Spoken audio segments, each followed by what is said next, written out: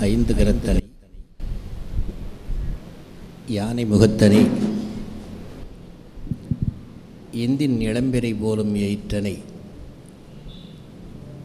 நந்தி மகந்தனை ஞானக் புந்தியில் வைத்து அடி போற்றுகின்றேனே. அஞ்சு முகம் தோன்றில் ஆறு முகம் தோன்றும். வெஞ்சமரில் அஞ்சலென வேல் தோன்றும். நெஞ்சில் ஒரு கால் நினைக்கின் இருகாலும் தோன்றும் முருகா என்று ஓதுவார் முன். சோழமண்டலத்தின் சோழ மண்டலத்தின் பெருமைக்குரிய இந்த துறையூர் வளநாட்டில் வாழ்கிற மக்கள் செய்த பெரிய புண்ணியத்தின் பயனாக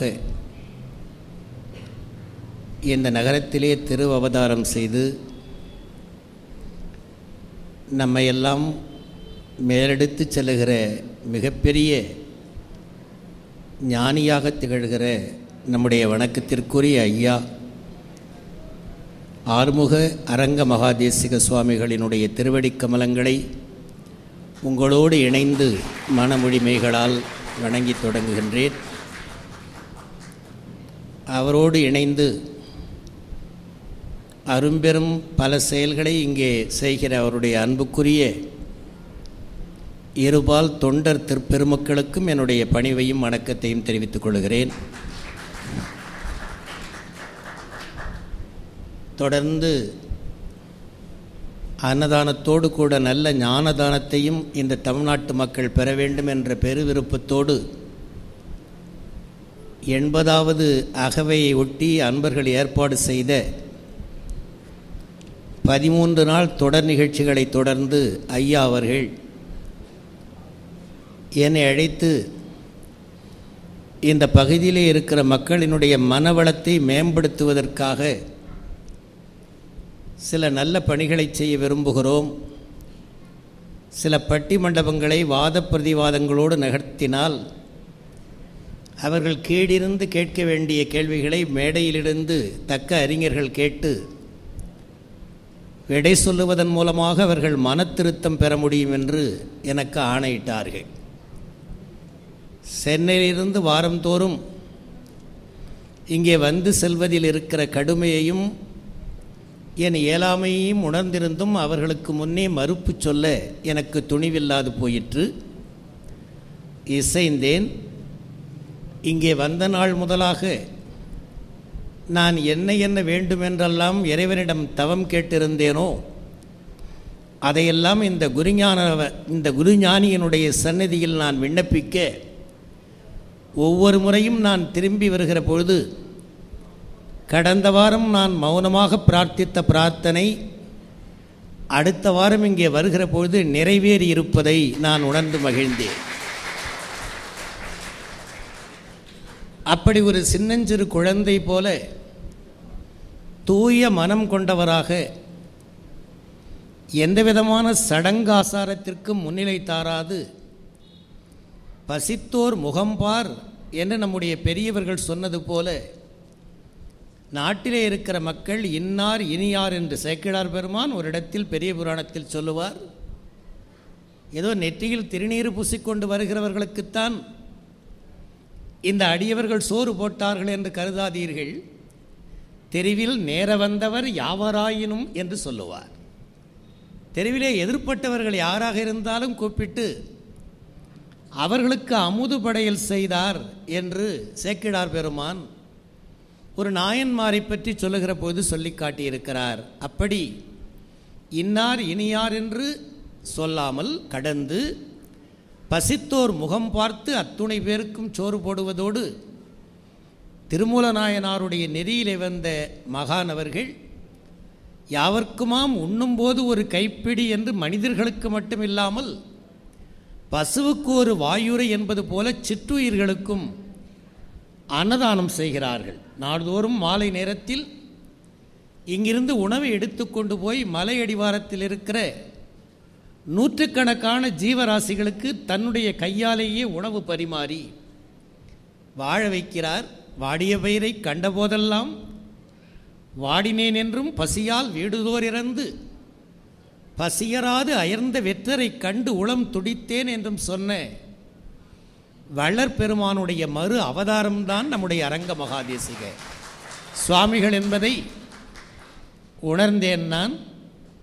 நாற்பது ஐம்பது ஆண்டுகளாக நான் பார்க்காத மடங்கள் இல்லை சந்திக்காத சன்னிதானங்கள் இல்லை வணங்காத குறிப்பீடங்கள் இல்லை வாழ்த்து பெறாத திருமடங்கள் இல்லை ஆனால் எந்த இடத்திலும் எனக்கு கிடைக்காத மன நிறைவு இந்த சன்னிதானத்தில் மட்டும்தான் கிடைத்தது என்பதை மனமகிழ்ச்சியோடு நான் தெரிவித்துக் கொள்கிறேன். அந்த அருமையான பட்டிமண்டப வரிசையில் இன்றைக்கு ஒரு நல்ல தலைப்பை நம்முடைய பெருமைக்குரிய ஐயா அவர்கள் தந்திருக்கிறார்கள். மனித மனங்கள் தூய்மைப்பட வேண்டும் என்பதுதான் அவர்களுடைய பெரிய அகத்தூய்மை வாய்மையால் காணப்படும் என்று வள்ளுவர் சொன்னதும் போல தண்ணீரை ஊற்றி உடம்பு அழுக்கை தீர்த்துவிட முடியும். ஆனால் மனத்தில் இருக்கிற அழுக்கை தீர்ப்பதற்கு என்ன உண்டு என்ற கேள்வியை கேட்டு மனக்கவலை இல்லாத மனிதர்கள் உலகில் இல்லை. அந்த கவலையை தீர்த்து வைக்க பெரியவர்கள் ரெண்டு வகையை சொன்னார்கள். இரண்டு வகையை சொன்னவர்களும் மிகப்பெரியவர்கள். பதஞ்சலி போன்ற மிகப்பெரிய பேரறிஞர்கள் யோக சூத்திரத்தை சொல்லி நல்ல தியானத்தால் நல்ல பல்வேறு வகையான யோக நெறிகளால் கூட மனத்தை தூய்மைப்படுத்த முடியும்னு. அதை உள்வாங்கித்தான் திருமூலர் திருமந்திரம் எழுதினார்னு பார்க்கிறோம்.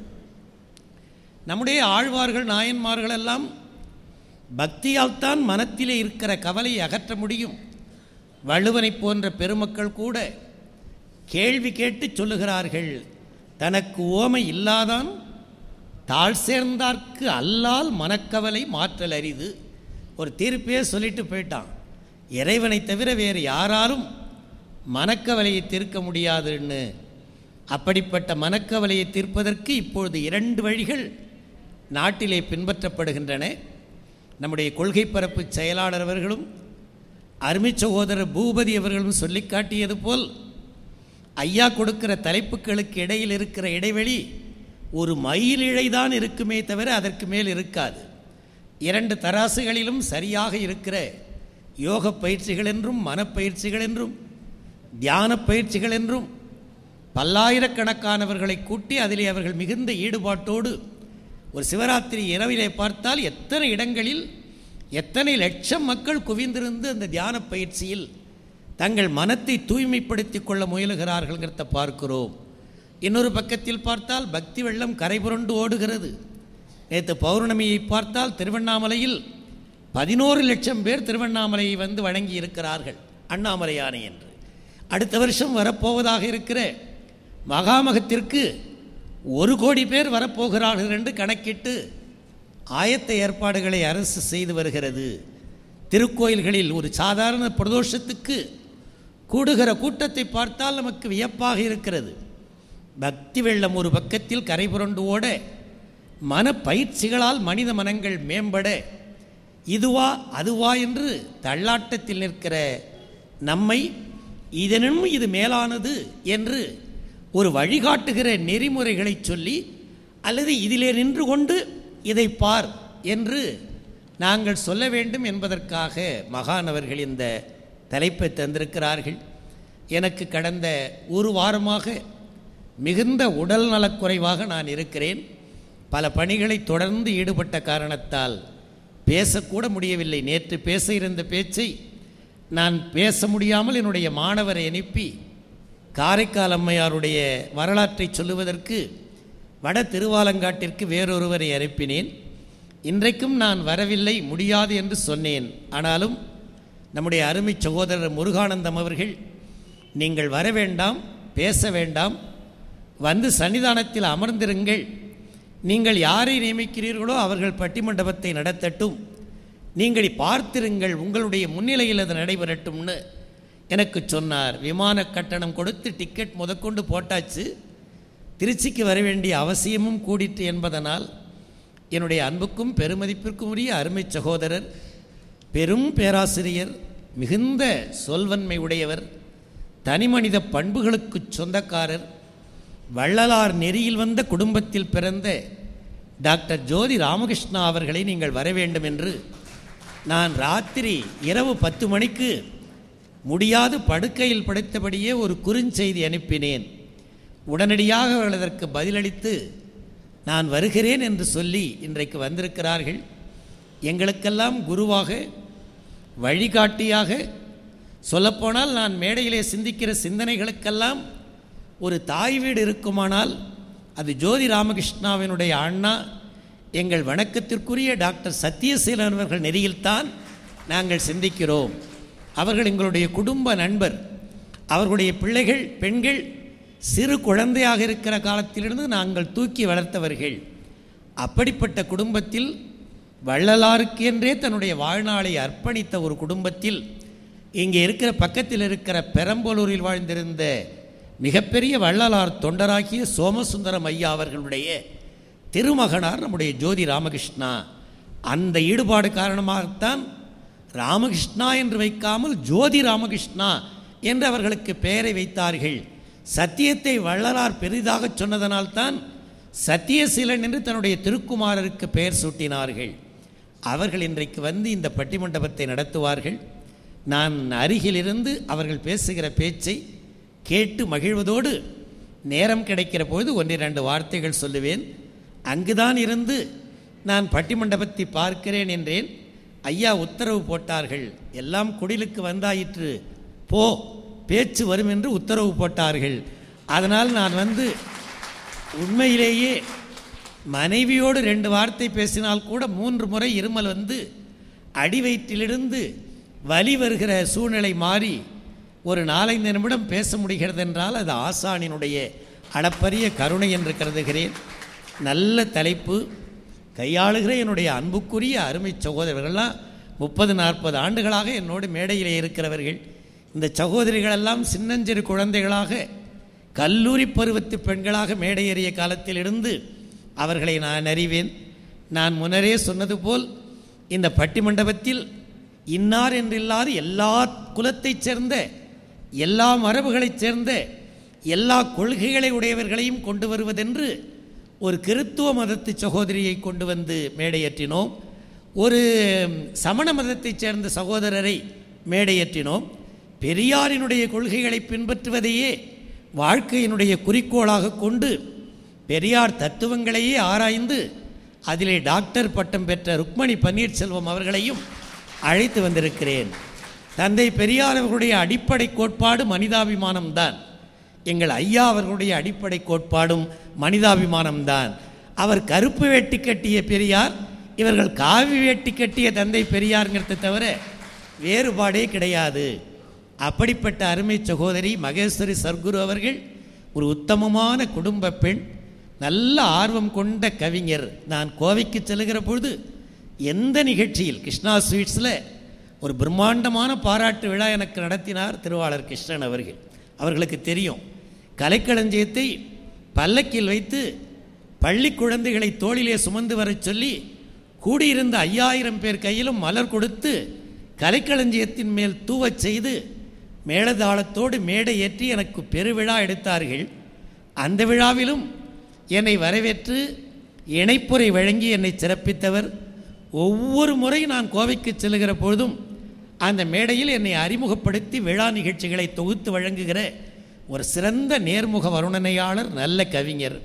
ராமமூர்த்தி அவர்கள் உங்களுக்கு உங்கள் மண்ணின் சொந்தக்காரர். இங்கே யாராவது தேடி பார்த்தால் அவரிடம் படித்த மாணவர்கள் கூட பத்து நூறு பேர் இருப்பார்கள். அந்த அளவிற்கு மிகச்சிறந்தவர் குருபக்தி மிக்கவர். எங்கள் பெரும்பேசா பேராசிரியர் ராதாகிருஷ்ணன் அவர்களுடைய தலைமைச் சீடர். எங்கள் ராதாகிருஷ்ணன் ஐயா கையெழுத்தா இவர் கையெழுத்தான்னு நாங்கள் பல நேரத்தில் ஏமாந்து போகிற அளவுக்கு எழுதுகிற அழகுணர்ச்சி மிக்கவர். அவர் வந்து அவங்களுடைய தந்தையார் எல்லாம் கம்யூனிஸ்ட் சித்தாந்தத்தில் அவருடைய அண்ணர்லாம் கம்யூனிஸ்ட் சித்தாந்தத்தில் இன்றைக்கும் பற்றுக்கோடு உடையவர்களாக இருக்கிறார்கள். இவருக்கும் பாரதியாரிடம் அந்த அடிப்படையிலே ஒரு பெரிய ஈடுபாடு உண்டு. அவர் வந்திருக்கிறார். டாக்டர் சின்னப்பா அவர்களை பற்றி நாட்டுப்புற பாடல் நாட்டுப்புற கவிதை மதுரை வட்டார பேச்சு வழக்கு அப்படின்னு சொன்னால் சின்னப்பாவிடம்தான் கேட்க வேண்டும். அவர் தாலாட்டு பாட்டிலிருந்து மதுரை பக்கத்து கவிதைகளை எடுத்துவிட்டால் சபையே அதிர்வதை நான் பார்த்திருக்கிறேன். அப்படிப்பட்ட என்னுடைய அருமை தம்பி அவருடைய உத்தம குணத்திற்கு அவருடைய ரெண்டு பிள்ளைகளும் மிகப்பெரிய டாக்டர்களாக இன்றைக்கு கனடாவிலேயும் இந்தியாவிலேயும் திகழ்கிறார்கள். நூறு முறை அவர்கள் இல்லத்தில் அவருடைய துணைவியார் கையால் நான் விருந்துண்டு மகிழ்ந்தவன். மதுரைக்கு போனால் எந்த விடுதியிலும் தங்க அவர் என்னை அனுமதிப்பதில்லை. இப்படிப்பட்ட அன்புக்குரியவர்களைத்தான் நான் வாழ்நாளில் பெரிதாக சேகரித்து வைத்திருக்கிறேன். பூபதி அவர்கள் சொன்னார்கள் பெரும் செலவு செய்து என்னுடைய வருமானத்தை எல்லாம் நான் கலைக்களஞ்சியத்தில் தொலைத்து விட்டேன்னு. என்னோடு வரப்போவது எந்த காசும் அல்ல.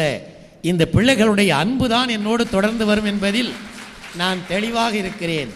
கடந்த அத்தனை பட்டிமண்டபங்களிலும் புதியவர்கள் புதியவர்களாக மேடையேற்றுவதற்கு காரணம் இப்படி ஒரு பெரிய மகான் மனிதாபிமானத்தோடு இந்த சின்னஞ்சிறு கிராமத்தில் செயல்படுகிறார். அவரை வந்து பாருங்கள் தரிசனம் செய்யுங்கள். இந்த குடிலனுடைய பெருமையை உலகத்துக்கு எடுத்துச் சொல்லுங்கள் என்று இந்த இறைப்பணி மன்றத்தினுடைய தூதுவர்களாக அவர்களை மாற்றுவதற்குத்தான் இங்கே அழைக்கிறோம். அவர்கள் இதை செய்ய வேண்டும் என்று கேட்டுக்கொண்டு மனக்கவலையை தீர்க்க வல்ல மிகப்பெரிய ஆற்றல் பக்திக்கு உண்டா? பயிற்சியால் தான் அது முடியுமா? என்ற தலைப்பில் அமைந்த அருமையான பட்டிமண்டபத்தை உங்கள் சார்பாக குடிலினுடைய தலைமை தாங்குகிற எங்கள் ஐயா சார்பாக அவருக்கு தோள் கொடுத்து நிற்கிற நூற்றுக்கணக்கான தொண்டர்கள் சார்பாக அருமை சகோதரர் ஜோதி ராமகிருஷ்ணா அவர்கள் கையில் கொடுத்து இந்த பட்டிமண்டபத்தில் முழுமையாக உங்களோடு கலந்து கொள்ள முடியவில்லைனாலும் அந்த குறையை அடுத்த பட்டிமண்டபத்தில் நான் தலைமையேற்று தீர்ப்பேன் என்பதை சொல்லி திரு ஜோதி ராமகிருஷ்ணா அவர்களுக்கு ஒரு பலத்த கைதட்டு கொடுத்து நீங்கள் அவர்களை வரவேற்க கேட்டு விடைபெறுகிறேன். வணக்கம். நன்றி. அருட்பெரும் ஜோதி அருட்பெரும் ஜோதி. தனிப்பெரும் கருணை அருட்பெரும் ஜோதி. எல்லாம் செயல் கூடும் என்னான எம்பலத்தை எல்லாம் வல்லான் தனியே ஏற்று. முன்னவனே யானை முகத்தவனே முத்திநலம் சொன்னவனே தூய்மை சுகத்தவனே மன்னவனே சிற்பரனே ஐங்கரனே செஞ்சடையும் சேகரனே தற்பரனே நின்றாள் சரண். முருகப்பெருமானின் ஏழாம் படை வீடாம் ஸ்ரீ அகத்தியர் சன்மார்க்க சங்கம் ஓங்காரக்குடில் துறையூர்.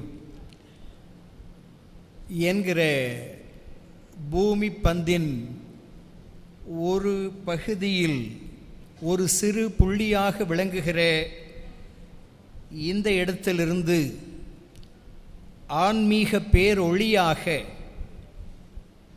வரு நாட்களில் அகில உலகமும்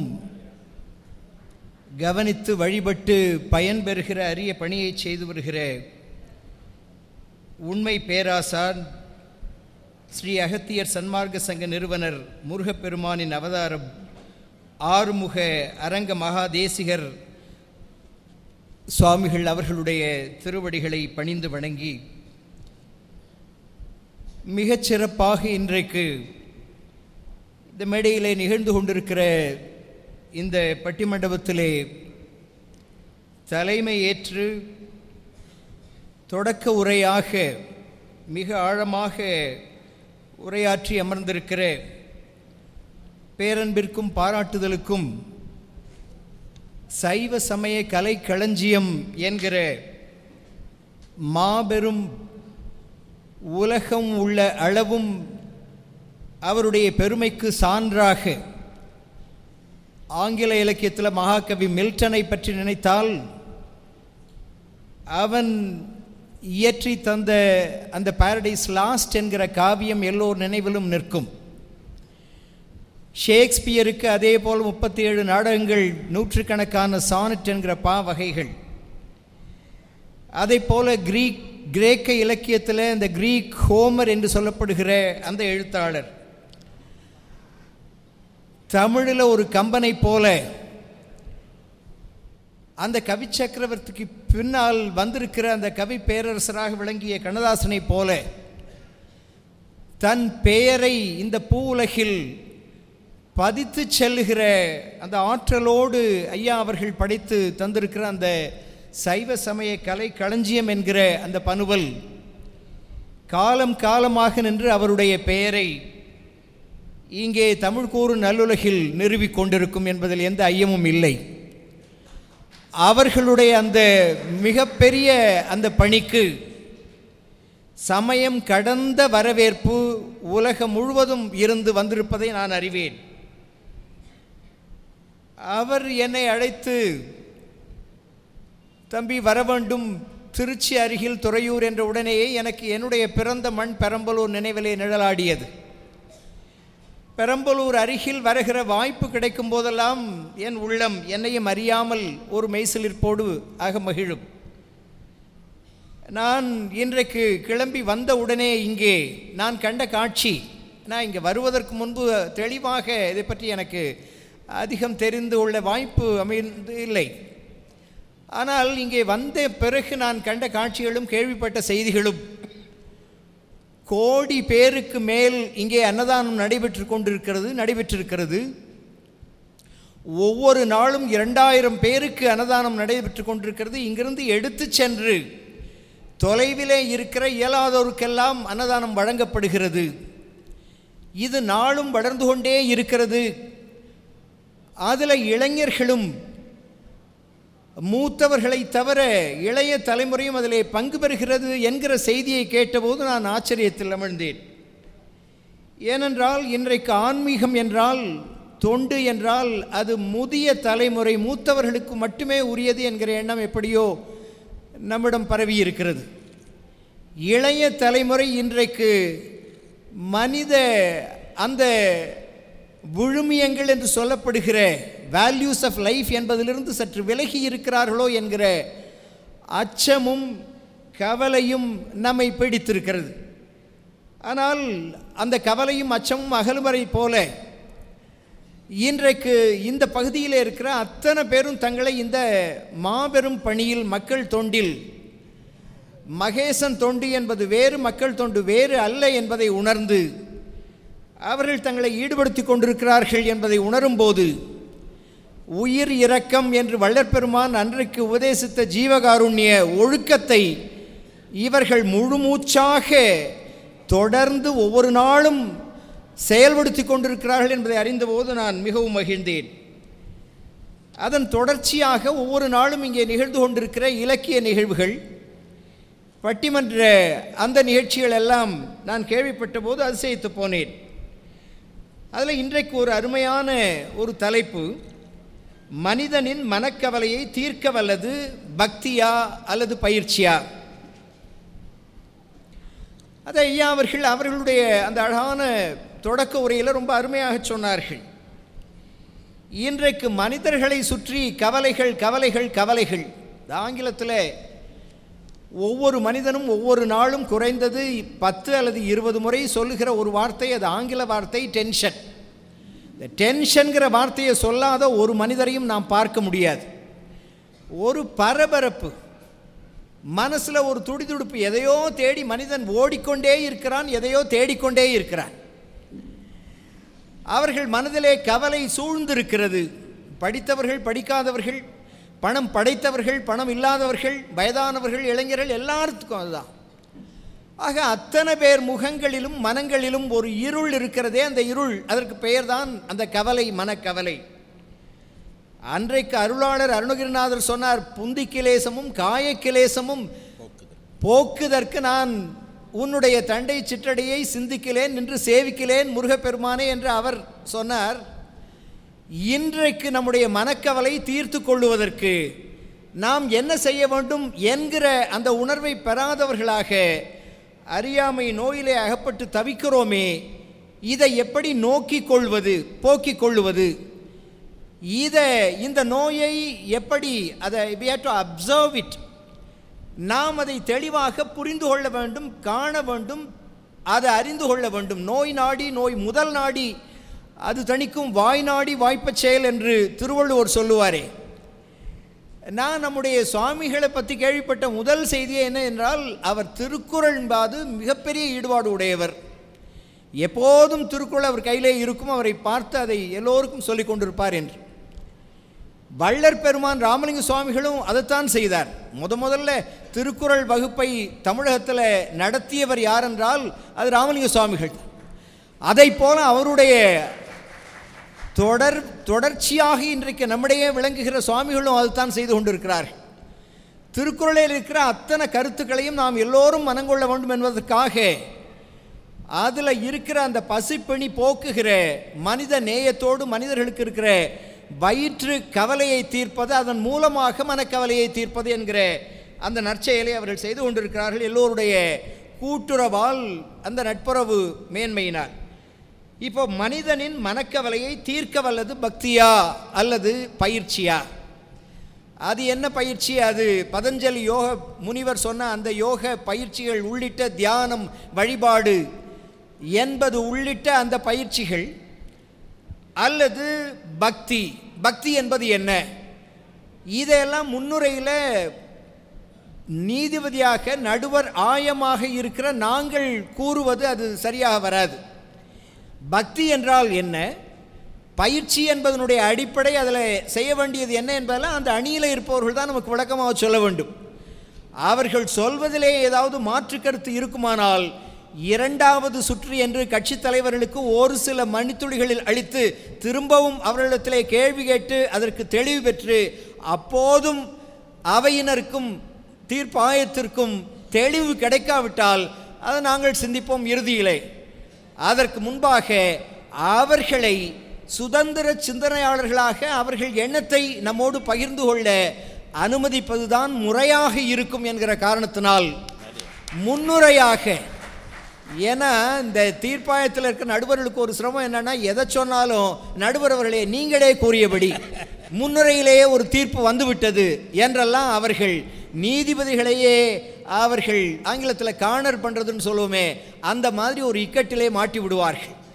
எனவே திறந்த மனதோடு இந்த இருவேறு கருத்துக்களையும் அவர்கள் அலசி ஆராய்ந்து நமக்கு நல்ல செய்திகளை தர வேண்டும் என்பதையே இந்த முன்னுரையில் அவர்களுக்கு ஒரு வேண்டுகோளாக வைத்து இதில் பேசுகிற நாலு பேரையும் பற்றி மிக அருமையாக அவர்கள் அறிமுக உரையும் ஆற்றினார்கள். நம்முடைய ஐயா அவர்கள் அவர் என்னை பற்றி அன்போடு ரொம்ப பெருந்தன்மையோடு சொன்ன கருத்துக்களை எல்லாம் நான் அது அந்த நல்ல பெருமைகளெல்லாம் எனக்கு இனியும் தொடர்ந்து வாய்க்க வேண்டும். வாழ்க்கையில் நான் இனி அவர் காட்டிய வழியில் முன்னேற வேண்டும் என்று எடுத்துக்கொண்டு ஆசீர்வாதமாக எடுத்துக்கொண்டு அவர்களை பற்றி சொன்ன அத்தனையும் உண்மை உண்மையை தவிர வேறில்லை என்பதை வழிமொழிந்து நண்பர் அருமை சகோதரர் மதுரை செந்தமிழ் கல்லூரியினுடைய முதல்வராக இப்பொழுது முதன்மையராக நிர்வாக பணியிலும் மிகச்சிறந்த ஒரு தடம் பதித்து கொண்டிருக்கிற அருமை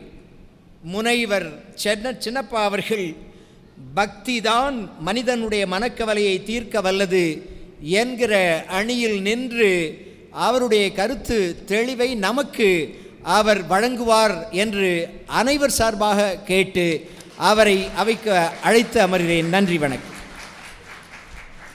அகரமும் ஆகி அதிவனும் ஆகி அதிகமும் ஆகி அகமாகி. அயனனவாகி அரியனவாகி அரணனவாகி அவர் மேலாய். இகரமும் ஆகி இனிமையும் ஆகி எவைகளும் ஆகி வருவோனே. இருநில மீதில் அடியனும் வாழ எனது முன்னோடி வரவேணும். மகபதியாகி மருவும் வளாரி மகிழ்களி கூடும் வடிவோனே. வனமுறை வேடன் அருளிய பூசை மகிழ்கதிர் காமமுடையோனே. ஜெகஜனச்சேகு தகுதி மித்தோதி திமியன ஆடுக மயிலோனே. ஜெகஜனச்சேகு தகுதி மித்தோதி திமியன ஆடுக மயிலோனே. திருமலிவான பழமுதிர்ச்சோலை மலைமிசை மேவி பெருமானே. இது அருணகிரிநாதர் முருகப்பெருமான் மீது ஆறாவது படைவீடாக அமர்ந்திருக்கக்கூடிய பழமுதிர்ச்சோலையில் முருகப்பெருமானைக்காக பாடிய பாடல். மதுரைக்கு ரெண்டு பெருமைகள் உண்டு. ஆறு படை வீடுகளிலே ரெண்டு படை வீடுகள் மதுரையில் உண்டு. முதல் படையும் மதுரை தான் ஆறாவது படை வீடும் மதுரை தான் நான் இன்று தரிசனம் செய்ய வந்திருக்கக்கூடிய எனக்கு கிடைத்த பேரு ஏழாவது படை வீடாக இருக்கக்கூடிய இந்த குடிலுக்கு வருகை தந்தது. நான் ஞானக்குருவாக மதிக்கக்கூடிய என்னுடைய மரியாதைக்குரிய அண்ணன் பேராசிரியர் சைவச் செங்கதிர் செந்தமிழ் வாரதி இந்து சமயம் பெற்ற புண்ணியத்தின் புண்ணியம். அவர்கள் அளித்த இந்த பேரினால் எனக்கு இந்த பெருமை கிடைத்ததை நான் இந்த தரிசனத்தை எண்ணி நான் மகிழ்ச்சி அடைகிறேன். ஆசான் ஆறுமுக அரங்கமா தேசிகரை நான் வீழ்ந்து வணங்கும் போது எனக்கு ஆசி வழங்கினார். நான் பக்தியோடு அவரை வணங்கினேன். பக்தியின் பாலராகி பரமனுக்கு ஆளாம் அன்பர் தத்தமிர் கூடினார்கள் தலையினால் வணங்க வேண்டும் என்று சைவ சேக்கிலார் சொல்லுவார். அப்படி வணங்கும் போது எனக்கு ஆசி வழங்கினார் நான் நல்ல பயிற்சி பெற்று வாழ வேண்டும் என்று வழங்கவில்லை. பக்தியோடு வாழ வேண்டும் என்று ஆசி வழங்கினார். அந்த அடிப்படையில் இங்கே உண்மையிலேயே நான் உள்ளமெல்லாம் மகிழ்ந்து நெகிழ்ந்து நெக்குருகி ஒரு மூன்று நாட்களுக்கு முன்னர் தான் அண்ணன் அவர்கள் துறையூருக்கு வர வேண்டும் என்று சொன்னார். நான் அண்ணன் சொல்லும்போது எதையும் மறுத்து பேசுகிறது அண்ணே நீங்கள் சொல்லி நான் வராமலா இருக்க போகிறேன் வந்துடுறேன் ரெண்டு மணிக்கு எங்கே இருக்கணும்னு சொல்லுங்கள் அங்கே இருக்கிறேன்னு சொன்னேன். அதிலிருந்து தொடர்ந்து பாலாஜி பூபதி குமரகுரு தொடர்ந்து என்னோடு தொடர்பு கொண்டு நூல்களை அனுப்பி இங்கே வந்த மதுசூதனன் முருகானந்தம். இந்த இந்த பரமனுக்கு ஆளாம் அன்பர்கள் என்பதை இங்கே கண்டு நெகிழ்ந்து இருக்கும்போதுதான் இன்று ஜோதி ராமகிருஷ்ணாவாகிய என்னுடைய அருமைக்குரிய நண்பரும் சகோதரரும் இன்றைய இணை இந்து வழங்க தீர்ப்பு வழங்க இருக்கின்ற நடுவரும் என்னை அறிமுகம் செய்து உங்கள் முன்னால் நிறுத்தி இருக்கிறார்கள் அது மனிதனுடைய மனக்கவலையை தீர்க்க வல்லது என்று தலைப்பு. இன்னொரு மகிழ்ச்சி நெடுநாளாக சந்திக்க வேண்டும் சந்திக்க வேண்டும் என்று நினைத்து கொண்டிருந்த என்னுடைய நண்பர் திரு ராமமூர்த்தி அவர்களை இப்பொழுதுதான் பார்த்தேன். இன்னைக்கு வர்றாருன்னு கூட எனக்கு தெரியாது. நான் அழைப்பில் கூட பார்க்கல. பார்த்தோன்னே எனக்கு பெரிய மகிழ்ச்சி. ஓ என்னமோ தெரியல நாம் இழந்ததையெல்லாம் பெற்றுக்கொண்டிருக்கிறோமோ? இப்பொழுது இழந்த இளமையை கூட பெற்றுக்கொண்டிருக்கிறோமோ என்ற எண்ணம் எனக்குள்ளே உந்திய காரணத்தினால் உங்கள் முன்னால் தலைப்பை பற்றி சொல்ல வேண்டும் என்பதற்காக சொல்லுகிறேன். அற்புதமாக இங்கே வந்து கொள்கை பரப்பு செயலாளர் நடராஜன் அவர்கள் அதாவது அது பல சொல்ல இல்லை அவர் சில சொன்னார். பல சொல்ல காமுற வேண்டிய அவசியம் கிடையாது. சில சொன்னார். சொல்லும் பொழுதே ஒவ்வொரு வாசகமும் அது திருவாசகம். அது அருளுரையாக அமைந்த காரணத்தினால் ஓ எனக்குள்ளே இருக்கக்கூடிய இன்னும் விடாமல் இருக்கக்கூடிய சில தீங்குகளை கூட விட்டுவிட வேண்டும் என்ற ஒரு முடிவுக்கு வந்த இந்த ஏழாவது படை வீட்டில் நின்று உங்கள் முன்னால் ஒரு சில மணித்துளிகள் பக்தி தான் மனிதனுடைய மனக்கவலையை தீர்க்க வல்லது. என்று சொல்லிக் கொள்வதிலே நான் ஆசைப்பட்டு உங்கள் முன்னால் நிற்கின்றேன். அவர் சொன்னவர் ஆசை பற்றித்தான் அறையலுற்றேன். இது பெரிய திருக்கொற்றத்தின் முன்னால் நிற்கின்றோமோ என்ற எண்ணம் எனக்கு. நானும் பயிற்சியில் ஈடுபட்டவன் தான் இந்த உலகியல்ல இருக்கக்கூடிய துன்பம் அதிகமாக என்னை பிடிச்சி வாட்டியது. அண்ணனுக்கு தெரியும் இங்கே உட்கார்ந்துருக்கக்கூடிய ஜோதி ராமகிருஷ்ணா மாதிரி அங்கே இருக்கக்கூடிய என்னுடைய அருமைக்குரிய நண்பர் ராமமூர்த்தி மாதிரி. நான் பரம்பரை பரம்பரையாக படித்து வந்த குடும்பத்தில் இருந்து வந்தவன் கிடையாது. வழக்கை இடக்கை எது என்று தெரியாத சாதாரண ஒரு கட்டிட தொழிலாளி குடும்பத்தில் இருந்து எங்கள் கிராமத்தில் முதல் முதலாக கல்லூரி சென்று படித்தவன் நான். எனவே எனக்கு மிக ஆழ்ந்தமாக அழு அழுத்தமான பெரிய பயிற்சி எல்லாம் கிடையாது. ஆனால் இவர்களையெல்லாம் பார்த்தபோது எனக்கு ஆசை இவர்களை போன்று நாம் ஏன் வரக்கூடாது? இவர்களை போன்று நாம் வர வேண்டும் என்று ஆசைப்பட்ட காரணத்தினால் சில பயிற்சிகளை மேற்கொண்டேன். கிடைக்கும் போதெல்லாம் படித்தேன். பேசினேன். என்னை அரவணைத்து கொண்டவர்களில் என்னுடைய அண்ணனை சைவ சங்கத்தின் மாதிரி தவத்திரு குன்றக்குடி அடிகளார் அவர்கள் என்னை மிக அணுக்கமாக அரவணைத்து கொண்டார். நிறைய நூல்களை அவற்றிலிருந்து வாங்கி படித்தேன். பல பேருக்கு தொண்டு செஞ்சேன். அடிகளார் அவர்களுக்கு கால் பிடித்து விடுவதில் நான் சந்தோஷப்படுவேன். எல்லாரையும் அனுமதிக்க மாட்டார் அவர் வந்து கால் பிடித்து விடுவதற்கு. இப்போ இன்னைக்கு இருக்கக்கூடிய உலகத்தில் மனிதன் எப்படி இருந்தான் என்று அவர் கொள்கை பரப்பு அருளாளர் செயலாளர்னு சொல்ல மாட்டேன். அவர் சொன்னார் மனிதனை பார்ப்பதே ரொம்ப கஷ்டமாக இருக்கு. எல்லாரும் மனிதர்கள் இல்லை. ஏதோ அங்கே அவன் போகிற வே- தேல் போகுது விலங்கு போகுது பூரான் போகுது சிங்கம் போகுது கரடி போகுது என்று சொல்லி கொண்டிருந்தவர் தானே. ஒருத்தர் இவ்வளோ மனிதனை கண்டேன் என்று பேசினார் வந்துட்டு. அப்போ உலகம் எப்படி இருக்கு? அகை இனத்தார் புற இனத்தார் என்று வல்லரசு பேசுவார் பேசுவாரே. இந்த புற இனத்தார்கள் தானுங்க தொண்ணூத்தொம்பது பேரு. அகை இனத்தார் எத்தனை பேர்? பொருளி கட்டி பொருளை தட்டும் சந்தை பச்சை புழுகை விற்று சலுகை பெற்ற மந்தை. இதில் போலிகளும் காளிகளும் பொம்மலாட்டம் ஆடுகின்ற விந்தை சொன்னால் நிந்தை. இதானே? அவன் ஒரு சித்தன். இருபத்தொன்பது வருஷம் தான் வாழ்ந்தான்.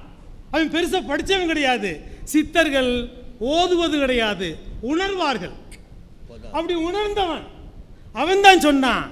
அப்படி சொல்லும்போது உறங்கையிலே பானைகளை உருட்டுவது பூனை குணம் காண்பதற்கே உருப்படியாய் இருப்பதையும் கெடுப்பதுவே குரங்கு குணம். ஆற்றில் இறங்குவோரை கொன்று இரையாக்கல் முதலை குணம். ஆனால் இத்தனையும் மனிதனிடம் மொத்தமாய் வாழுதடா. பிறக்கும் போது பிறந்த குணம் போக போக மாறுது. அப்புறம் கடைசியில் வந்தானே சேருது. நண்பர் சின்னப்பா அவர்களே நீங்கள் இப்பொழுது மேற்கோளாக காட்டிக் கொண்டிருக்கிற க பாடல் வரிகளை எழுதினவர் யார்? ஆமா அவர் அவர் எங்காவது பக்தியை பத்தி பேசியிருக்கிறாரா? நிறைய பேசியிருக்கிறாரு. சொல்லுங்க. ஆனா அது நிறைய மறைக்கப்பட்டது. அவர் நிறைய பேசியிருக்காரு. அந்த. அவர் பக்தியை பத்தி பாடின ஒரு சில வரிகள் அரங்கா அறம் காத்த தேவி பாருங்களேன் அவர் எதிர்கட்சி தலைவர் எடுத்து கொடுக்கறது இருக்கட்டும். நம்ம மனசுல நிக்கிறது. பட்டுக்கோட்டை பாடல்கள்னா மனித முயற்சி பயிற்சி வரிகளா. பக்தி வரிகளா மனிதனை பற்றி அவர் சொன்ன வரிகளை சொன்னனே தவிர பக்தியை பற்றி அவர் அதிகமாக சொல்லல ஆனா மனிதனை பற்றி மனித நேயத்தை பற்றி சொன்னாரா இந்த மனக்கவலையை தீர்க்க வல்லது எது என்று பார்க்கும்போது. இது பயிற்சியா பக்தியா என்ற கேள்விக்கு வரும்போது இந்த மனக்கவலையை தீர்க்க வல்லது. பயிற்சியை விட பக்தி தான் என்பதை சொன்னவர்கள் தான் நிறைய பேர் உண்டு என்ற காரணத்தினால நான் இங்கே இருக்கக்கூடிய அருளாளர்களை சுற்றி பார்க்கும்போது அருணகிரிநாதரையும் பார்க்கிறேன். அருணகிரிநாதர் சொல்கிறாரு இந்த மனக்கவலை எனக்கு உடல் கவலை மட்டும் கிடையாது உள்ளக்கவலை மட்டும் கிடையாது உலகியல் கவலை கிடையாது மட்டும் கிடையாது. பிறந்த உடனேயே தொடங்குது. ஒப்புடன் பிறந்த உடனேயே இத்தாரணிக்குள் மனுவித்தாய் முளைத்து அழுது கேவி கிடந்து மடி மீது தவழ்ந்து அடிகள் தத்தா தனத்ததன இட்டே தெருத்தலையில் ஓடித் திரிந்து நவகோடி பிரபந்த கலையை சீர்வயிற்ற வயது எட்டோடு எட்டு வர வாழக்குணங்கள் வயில் கோலப்பெதும்பேர்கள் உடல் உறவாகி இக்கார்சரத்தும் அதனுக்கே இழைத்து வெகுவாக களம்ப வகை பாடி புகழ்ந்து பல திக்கோடு திக்கு வரை மட்டோடி மிக்கவருள் தேடி சுகந்தவனை மீதித்து இன்று சுகமிட்டாதரத்துருகி வட்டார்முகை குளிகை மூழ்கி கிடந்து மயலாகி துளைந்து சில பிணியது மூடி சத்தான புத்தி புத்தியது கெட்டே கிடக்க? நமனோடி தொடர்ந்து கைராடி கொழும்பொழுது பெற்றோர்கள் சுற்றியள உற்றார்கள் மெத்தள ஊருக்கடங்களிலர் காலர் கடங்க உயிர் தக்காதிவர்க்கும் அயனிட்டான் விதிப்படியின் ஓலை பழம்படியின் நாளில் திறந்ததென எடுமன ஓடி சட்டா நவப்பறைகள் கொட்டா வரிச்சுடலை ஏகிச் சடம்பெறுது வேக இப்படி பேசிட்டு வரும்போது கடைசியில் என்ன சொல்லி முடிக்கிறார்கள் என்ன பாட்டு சொல்லி முடிக்கும் போது முருகா இந்த தொல்லை தீர வேண்டுமா? தமிழ் கவிதை பேசி பணிந்துருகும் நேசத்தை தமிழ் கவிதை பேசி பணிந்துருகும் நேசத்தை முருகா இன்று தர இனி வேணும். இதுதான் அவர் சொல்ல வரும்போது. இப்போ இவருக்கு கிடைக்காத பயிற்சி நிறைய கிடைச்சது அவருக்கு வந்து. இன்னொன்று சொல்கிறேன் பக்தியில் எப்படி மனக்கவலை தீர்ந்ததுன்னு இன்னொரு எடுத்துக்காட்டு சொல்றேன். எங்க ஊருக்காரரு மதுரை சோமுன்னு கேள்விப்பட்டிருப்பீங்க. ஆமா. இப்ப இல்ல. நாற்பது வருஷத்துக்கு முன்னாடி மிகச்சிறந்த பாடகர் நெத்தி நிறைய விபூதியில பெரிய குங்கும பொட்டு வச்சவர் அவர்தான். அவரை பார்த்து தான் குன்னக்குடி வைத்தியநாதன் அவ்வளோ பெரிய பொட்டு வச்சேன்னு சொல்லுவார் வந்துட்டு. சாண்டா சின்னப்பாத்து அவர் போய் கேட்குறாரு வந்து எனக்காக ஒரு பாட்டு சினிமாவில் நீ பாடணும்னு கேட்டார். அப்போ இவர் கேட்டார் நான் இதுவரைக்கும் சினிமாவுக்கு பாட்டு பாடலை. இல்லை இல்லை என் கவலை தீரணும்னா நீங்கள் பாடணும். அவர் கேட்குறாரு வந்துட்டு. சினிமாவுக்கு பாட சொல்கிறீங்க சரி யார் எல்லாம் என்ன செய்கிறான்னு கேட்டு வச்சுக்கிட்டாரு. நான் என்ன பாடுறேனோ அதை பாடுவேன். எழுதி கொடுத்ததை பாட மாட்டேன். எழுதி கொடுத்ததெல்லாம் கொடுங்க நான் பாடுறேன் என்று சொல்லி அவர் என்ன தெளிவாக பாடினாரு? இந்த அருணகிரிநாதருடைய இந்த பாட்டை அடிப்படையாக வைத்துக்கொண்டு அப்போ மதுரை சோமு கண்ணதாசன் எழுதி கொடுத்த பாட்டில் ரெண்டு வரையை தான் எடுத்தார்.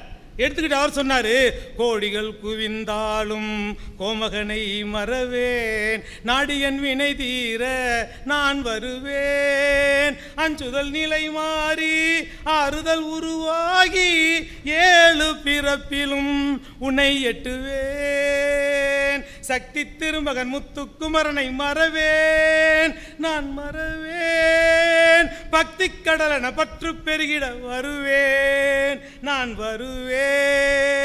பரமனின் திருமகனே அழகிய தமிழ் மகனே பரமனின் திருமகனே அழகிய தமிழ் மகனே காண்பதெல்லாம் உனது முகம் அது ஆறு முகம். காலமெல்லாம் எனது மனம் முருகுது முருகா. இது கூட அவரா சொல்றாரு. காலம் எல்லாம் எனது மனம் முருகுது முருகா. அதிபதியே குருபரனே அருள்நிதியே சரவணனே. அதிபதியே குருபரனே அருள்நிதியே சரவணனே. பனி எது மலை எது நதி எது கடல் எது சகலமும் உனதொரு கருணையின் எழுவது. வயலின் போட முடியல. பனி எது மலை எது நதி எது சகலமும் உனதொரு கருணையின் வழுவது. வருவாய் குகனே வேலையா.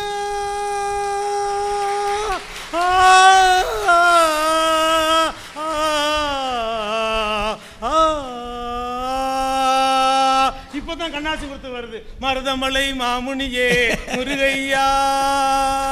தேவரின் குளம் காக்கும் வேலையா வருது. மனக்கவலை தீர்ந்த காரணத்தினால அவர் என்ன செஞ்சார்? ஒரு பிளான் செக்கை போட்டு சின்னப்பா தேவர் வந்துட்டு இந்த மூணு பேர் மத்தியில் வச்ச உடனே கண்ணதாசன் அதை கையில் எடுத்து கும்பிட்டு குன்னக்குடி வைத்தியநாதன் கையில் எடுத்து கும்பிட்டு யாருக்கும் வீழ்ந்து வணங்காத கண்ணதாசனும் குன்னக்குடி வைத்தியநாதனும் மதுரை சோமுவை வீழ்ந்து வணங்கி அந்த செக்கை கொடுத்தாங்கன்னா எங்க மனக்கவலை தீர்ந்தது என்று சொன்னார்கள். இதெல்லாம் எடுத்துக்காட்டு.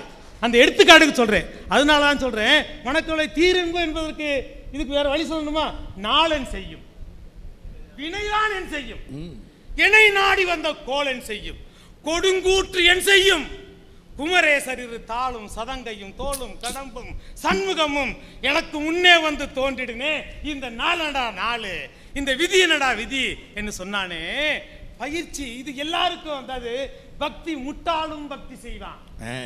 மன்னிச்சுக்கங்க. கண்ணப்பனும் பக்தி செய்வான். சிவகோசரியாரும் பக்தி செய்வான். சிவகோசரியாருக்கு தான் பக்தி வரும்னு கிடையாது. என் சாதியை சேர்ந்த கண்ணப்பனுக்கும் பக்தி வரும். ஆனா பயிற்சி எல்லாருக்கும் வராது. ஒன்று சொல்றேன்.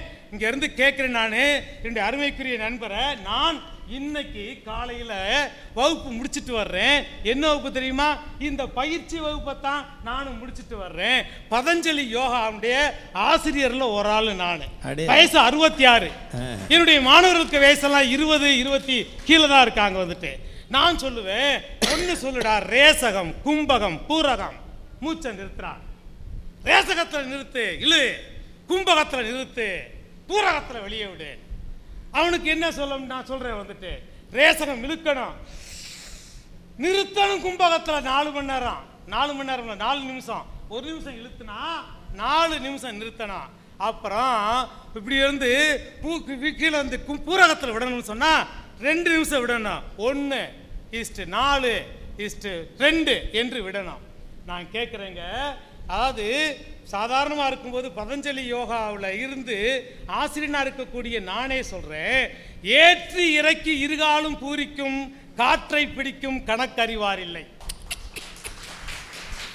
எத்தனை பேர் அறிய முடியும்? அறிவில் சிறந்தவன் எத்தனை பேர்? எல்லாருக்கும் அன்பு செலுத்த முடியும். எல்லாரும் அறிவாளியாக இருக்க முடியாது. நான் பேசத்தான் முடியும்.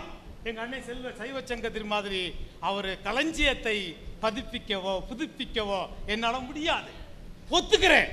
இல்லை உண்மை உண்மைதானே? நானும் தமிழ் வாத்தியார் தான் எல்லாரும் தமிழ் வாத்தியார் இருந்தால் சரியாக போகுமா? எல்லாரும் மனிதர் சரியாக போகுமா? எல்லாரும் வந்து ஆசான் ஆர்முக அரங்கமாதேசியர் ஆக முடியுமா? கேளுங்கங்க. இப்போ நான் கேட்குறேன் ஏற்று இறக்கி இருகாலும் பூரிக்கும் காற்றை பிடிக்கும் கணக்கறிவார் இல்லை. காற்றை பிடிக்கும் கணக்கறிந்து கொண்டால் கூற்றை உதைக்கும் குறியது ஆமேன்னா. இதை மகாகவி பாரதி படிச்சுட்டான் அவன் ப- பயிற்சி பண்ணிட்டான். பயிற்சி பண்ண உடனே இதை தெரிஞ்சுக்கிட்டவன் சொன்னான் காளா எந்தன் காலருகே வாடா உன்னை சற்றே எட்டி உதைக்கிறேன் நான் நூறு வருஷம் வாழ்வேன்னு சொன்னான். சொன்னவனுக்கு மறுநாள் பார்த்தசாரதி கோயில் யானை பிடிச்சி தள்ளிருச்சு. கீழே விழுந்தான். இறந்து போனான் இறைவன் போட்ட கணக்கு தெய்வ சங்கல்பம் வெற்றி அடையுமே தவிர அறிவாளியாக இருந்தாலும் மனிதன் போட்ட சங்கல்பம் வெற்றி அடையாது. நான் கேட்குறேன் சாதாரணமாக இருக்கும்போது இன்னைக்கு பயிற்சி செய்வதற்கு நான் பயிற்சி செய்துக்கு செஞ்சுக்கிட்டு இருக்கிறேன். நான் இதே ஜோதி ராமகிருஷ்ணா நடுவர் என்னுடைய அருமைக்குரிய சகோதரர் நல்ல குரு பரம்பரையிலே வந்தவர். நான் கேட்குறேன் நீங்கள் போல அதாவது அத்தமா சித்தியில் எட்டு ஆசனங்கள் இருக்குல்லையே எட்டு ஆசனத்தில் உட்கார்ந்து செய்யக்கூடிய நாலு ஆசனங்கள் இருக்கு. சாதாரணமாக உட்கார்ந்து இப்படி போட்டோம்னா இதுக்கு சுதாசனம்னு பேருங்க. சமணம் போட்டோம்னா ஒரு காலத்துக்கு போட்டோம்னா சித்தாசனம்னு பேரு.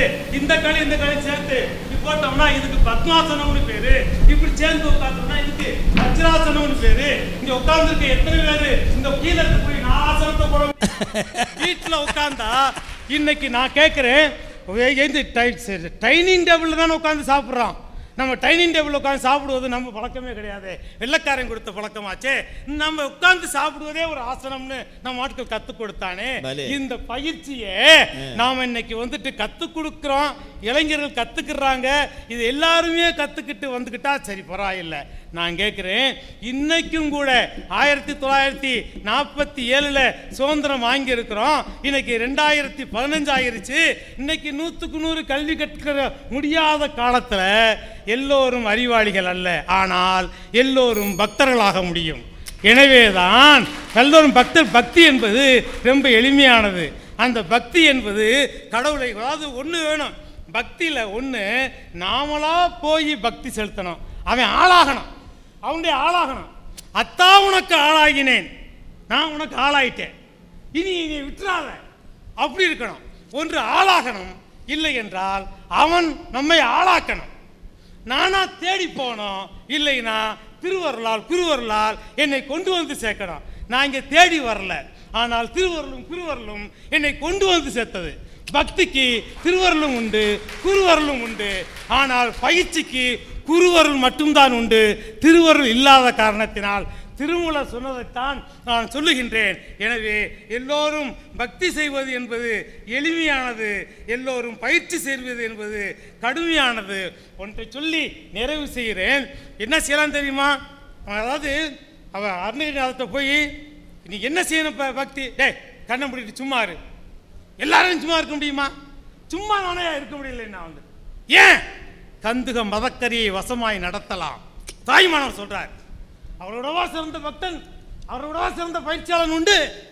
தாய்மானவர் சொல்றாருங்க கந்துக மதக்கரியை வசமாய் நடத்தலாம். கரடியும் புலி வாயையும் கட்டலாம். ஒரு சிங்கம் முதுகின் மேற்கொள்ளலாம் அதன் கட்செவி எடுத்து ஆட்டலாம்.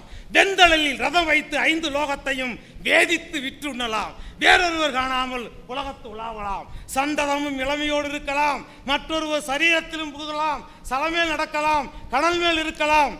எண்ணிகளில் சித்தி வரலாம். ஆனால் சிந்தையை அடக்கியே சும்மா இருக்கின்ற திறம் வருது. சத்தாகியன் சித்தமிசை குடி கொண்ட அறிவான தெய்வமே தேசோமே ஆனந்தமே என்று குறிப்பிட்டானே. அந்த அவர்களை அவர்களை விடவா நாம் வந்து சிறந்தவர்களாக இருக்க முடியும் என்ற காரணத்தினால் நாமும் சிறந்தவர்களாக வருவதற்கு முயல்வோம். ஏழாவது படைவீடுக்கு வந்திருக்கின்றோம். இந்த ஆசான் நமக்கு அருள்வான். எல்லோருக்கும் எல்லா வளமும் கிட்டும். எனவே பக்தி செய்வோம் பக்தி செய்வோம் என்று சொல்லி வாய்ப்பிற்கு வணங்கி விடைபெறுகின்றேன். நன்றி வணக்கம். ஒரே ஒரே ஒரு நிமிஷம் ஒரு நிமிஷம். ஒரு கேள்வி பக்தி கேட்கணும் ஒரு சந்தேகம் நிவர்த்தி பண்ணுறதுக்காக வேற ஒன்றும் இல்லை. பக்தி என்றால் என்ன? What is the definition of bhakti அதை மாத்திரம் தெளிவாக சொல்லிட்டு வந்துடுங்க பக்தி என்பது அன்பு அடக்கம் பணிவு கனிவு. எல்லோருக்கும் எல்லாம் கிடைக்க வேண்டும் என்று பகுத்துயிர் ஓம்புவது. இது பக்தி. ம். எனக்கு சிற்றறிவு கேட்டியது அவ்வளோ நல்லது நல்லது நல்லது, பாருங்க பாருங்க மிக அருமையாக அவருடைய மெய்ப்பாடுகள் எல்லாம் இந்த நவரச நாயகனாக இன்னைக்கு பட்டிமன்றத்தை பாட்டு மன்றமாகவே மாற்றி எல்லாரும் மனம் மகிழுமாறு அவர் பல்கலை செல்வராக விளங்கி இருக்கிறார். அவருக்கு நம்முடைய பாராட்டுக்கள் வாழ்த்துக்கள் நன்றி. இப்போ நம்ம அருமை புலவர் பேராசிரியர்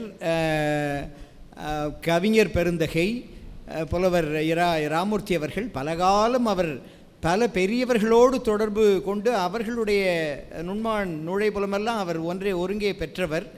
அவருக்கு இறையருளும் திருவருளும் ஒருங்கே அவரை கூட்டு வைத்திருக்கிறது அவர் நம்மிடத்திலே அந்த பயிற்சி என்றால் என்ன பக்தி என்றால் அவருடைய பார்வையில் எது என்பதையெல்லாம் தெளிவாக இப்பொழுது சொல்வார். பேரன்பிற்கும் பெருமதிப்புக்கும் போற்றுதலுக்கும் பாராட்டுக்கும் உரிய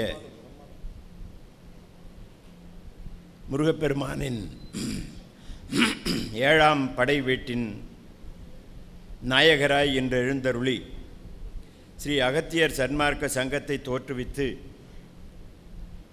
இந்த புதிய உலகத்தினுடைய மனக்கவலையை தீர்ப்பதற்குரிய அருமையான பயிற்சிகளை வழங்கி கொண்டிருக்கின்ற ஸ்ரீமத் ஆறுமுக மகாதேசிகர் அவர்களே. ஒருவன் வாழ்க்கையிலே வருகின்ற கவலைகளையெல்லாம் இந்த இயக்கத்தினுடைய கொள்கை பரப்பு செயலாளர் திரு நடராஜன் அவர்கள் சொன்னார்கள். என்னென்ன கவலையெல்லாம் இருக்கு பாருங்க. இந்த உலகத்தில் என்னென்ன தீமைகள்லாம் நடக்கின்றன பாருங்கள் என்று சொல்லிவிட்டு அவற்றை நீக்குவதற்குரிய அருமையான வழி என்ன என்று சொன்னால் இந்த உண்மையான பயிற்சியை மேற்கொள்ள வேண்டும்.